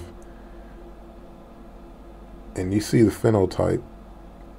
Like I said, people from everywhere in one tribe. guy in the bottom right is um, from the Sahrawi tribe, Northwest Africa. novel light skin mutations in pygmies. Let me answer this real quick, uh, and then I want to summarize it. Because people will ask, why is it that out of Africa 2 sticks with all of these back migrations when there's no pattern of back migrations because you don't see until recently in colonialism um, and to a lesser extent invasions but the pattern is older markers are in Africa spreading out the exceptions are rare to the rule so why is that? Why do we continue to go with um, the out of Africa 2 model? Why? Why? Why? And, and the simple answer, the simple answer, the short answer is Egypt. If you can identify any lineage that is prominent, more prominent outside of Africa as European ancestry, it doesn't matter if they are in Africa and never left Africa, you can still argue that they are not sub-Saharan African, even in this case with the Tufians, they are within a lineage that came out of Africa. If you could do that with the Afro-Levant portion of E1B1B or U6, then you can do that with Abu Sir mummies, who are relatively close to Natufians. Then you have the World Star Hip Hops. Had nothing to say about Nefertiti, Queen Tiye, King Tut, Ramses III's ancestry test, but a running story saying that Egyptians are more related to Europeans than Africans, likewise with Alex Jones. That's the main reason the back migration model is clinged to, even in this case, or even, you know, like with Luxmanda burials, where you find the same Anatolian and Natufian ancestry in ancient 3000 and 6000 BC sub-Saharan Africans. There's more to it than that. But that, that right there, that's the best I can do to answer that question because I've had this question asked. Well, what's going on here? You know, and, it, and it's like I said, it's deeper than that. You know, like with um, one thing I'll notice is that African um, branches will have later numbers because they're discovered later, like African haplogroup branches. That isn't like staunch, straight up racism as much as it is they're going in order of discovery. But what that does is it sets a stage so when the layman reads through Wikipedia looking at the origin of haplogroups, they have a different picture than what they would see if it was more objective. I haven't really been asked this question for this, but I get it with other videos, is people want a better summary. And I, I've given you the pieces of the puzzle, but when I say that, the, that Europeans came out of Africa in a more direct and recent sense, it goes back to Zidane. Because I would see Zidane and, and people, um, I think it was genetic tests, I was reported, would say that he's more North African than he is European. And I would look at it and I'm thinking, I need to see this test. I got to see this test. But I was still in disbelief, I was going more by lookership. And I still to this day, like I said, I want to see this test. Europeans are mainly early European farmers of the Neolithic as opposed to Western European hunter-gatherers and ancient North Eurasian paleos. Within the range of the estimated age of haplogroups, usually the younger end of the estimation you will see in the phylogenetic trees that these haplogroups like E1B1B, R, H, V, paternal J, arguably mitochondrial J, these lineages pit stop in North African populations before entering the Mediterranean. That's why you see the majority of EF is in Southern Europe, Malta, Spain, Greece, and Turkey. In Turkey, that's who the Ashkenazi Jews are more related to. That's why when Helen Thomas says the Jews of Israel are European, she's absolutely right. Ashkenazi are generally Turks, mostly Turks. They had the cows, the lactose intolerance, the dogs, the goats, the doctors, the medicine, the bell beaker huts that I didn't talk about. Actually, I don't think they had the. That's more West Europe. I could have gotten the bell beaker, but these samples on the right are from Iberia. Tor, Taf should be on the map as dark skin. Iom is Morocco. Cab is recent 3000 BC Morocco with K1, T2, and X2 haplogroups. K1, T2, and X2. Okay? All are basal Eurasian haplogroups living in Africa from which they came because there's no pattern of back migration. They, and Keb has medium pigment genes in hot ass Morocco. You don't need the crazy vitamin D theories because they because these people were eating fish. I'd be willing to bet they were eating fish. But you had diverse coalescing of light skinned genes, just like the albinos on Panama, where again it's hot. As you can see that the Moroccans that don't have future contact with Europeans like Taforalt and IAM, they default to yellow, a North African Maghreb ancestry located within Africa. It's as simple as easy as that. Early Europeans are connected to Homo sapiens mostly through this ancestry. I talked about the misinformation in population genetics. I use Angel as an example, who misuses the word Caucasian. Another example would be ACBN, who always talks about how there's no such thing as white Africans when technically speaking, blah, blah, blah. I just went over that. Or they'll call East Africa miscegenation zone instead of Arabia. Not sure about that. Recommended videos where I show how Neanderthal admixture did not occur. I gave an overview for the different out of Africa models. I gave an example of how population genetics identifies populations differently, how Nat Geo and DNA tribes disagree on population ancestries, namely modern Egypt, Senegal, the Luhya, and North Africa. There's no reason for people to have left Africa, traveled thousands of years in some fictional Caucasian land, mutated, and traveled back. You have people who will go in on the abos for basically the same thing as out of Africa 2. I mean, if you're going to say people, if you know, like if Africans can go all the way to America, whatever cold climate, mutate and return with Q, X, and R, that's just as much of a stretch as saying that Africans came from the Americas in the first place. At least it's one direction. Okay, Africans came from the Americas and went, uh, you know, that's one one sentence. Out of Africa 2 would suggest that if you find Q in Africa, that even if it's way out in Algeria, that Africans went all the way to America and came back. Same with X, same with R, because there's same with uh, mitochondrial A. Like Professor Arnason, he'll find like a 75,000 year old wrist and say, like, this is a modern wrist, modern Homo sapien wrist. And he'll, he'll find it in Turkey. And then he'll write an out of Eurasia paper, and Dr. Ali Muhammad will source it, like he did in that debate with Jabari. So, top to bottom,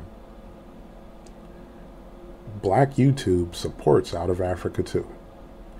Even though, if you look at it, it's making claims that are just as wild as Arnason and the Abos with back migration. And it's not looking at the age, therefore, because it, if you, you can't do one without the other. If you're saying that these aren't back migrated, then it has to change the age of out of Africa migrations. So you'll hear people say that humans, Homo sapiens, left Africa 100 and 150,000 years ago. Huh? Like that's what I've heard recently. when if you're looking at the age of these migrations without unnecessary back mig- migrations, then they have to be a lot younger. And if they're younger, then it does pose the question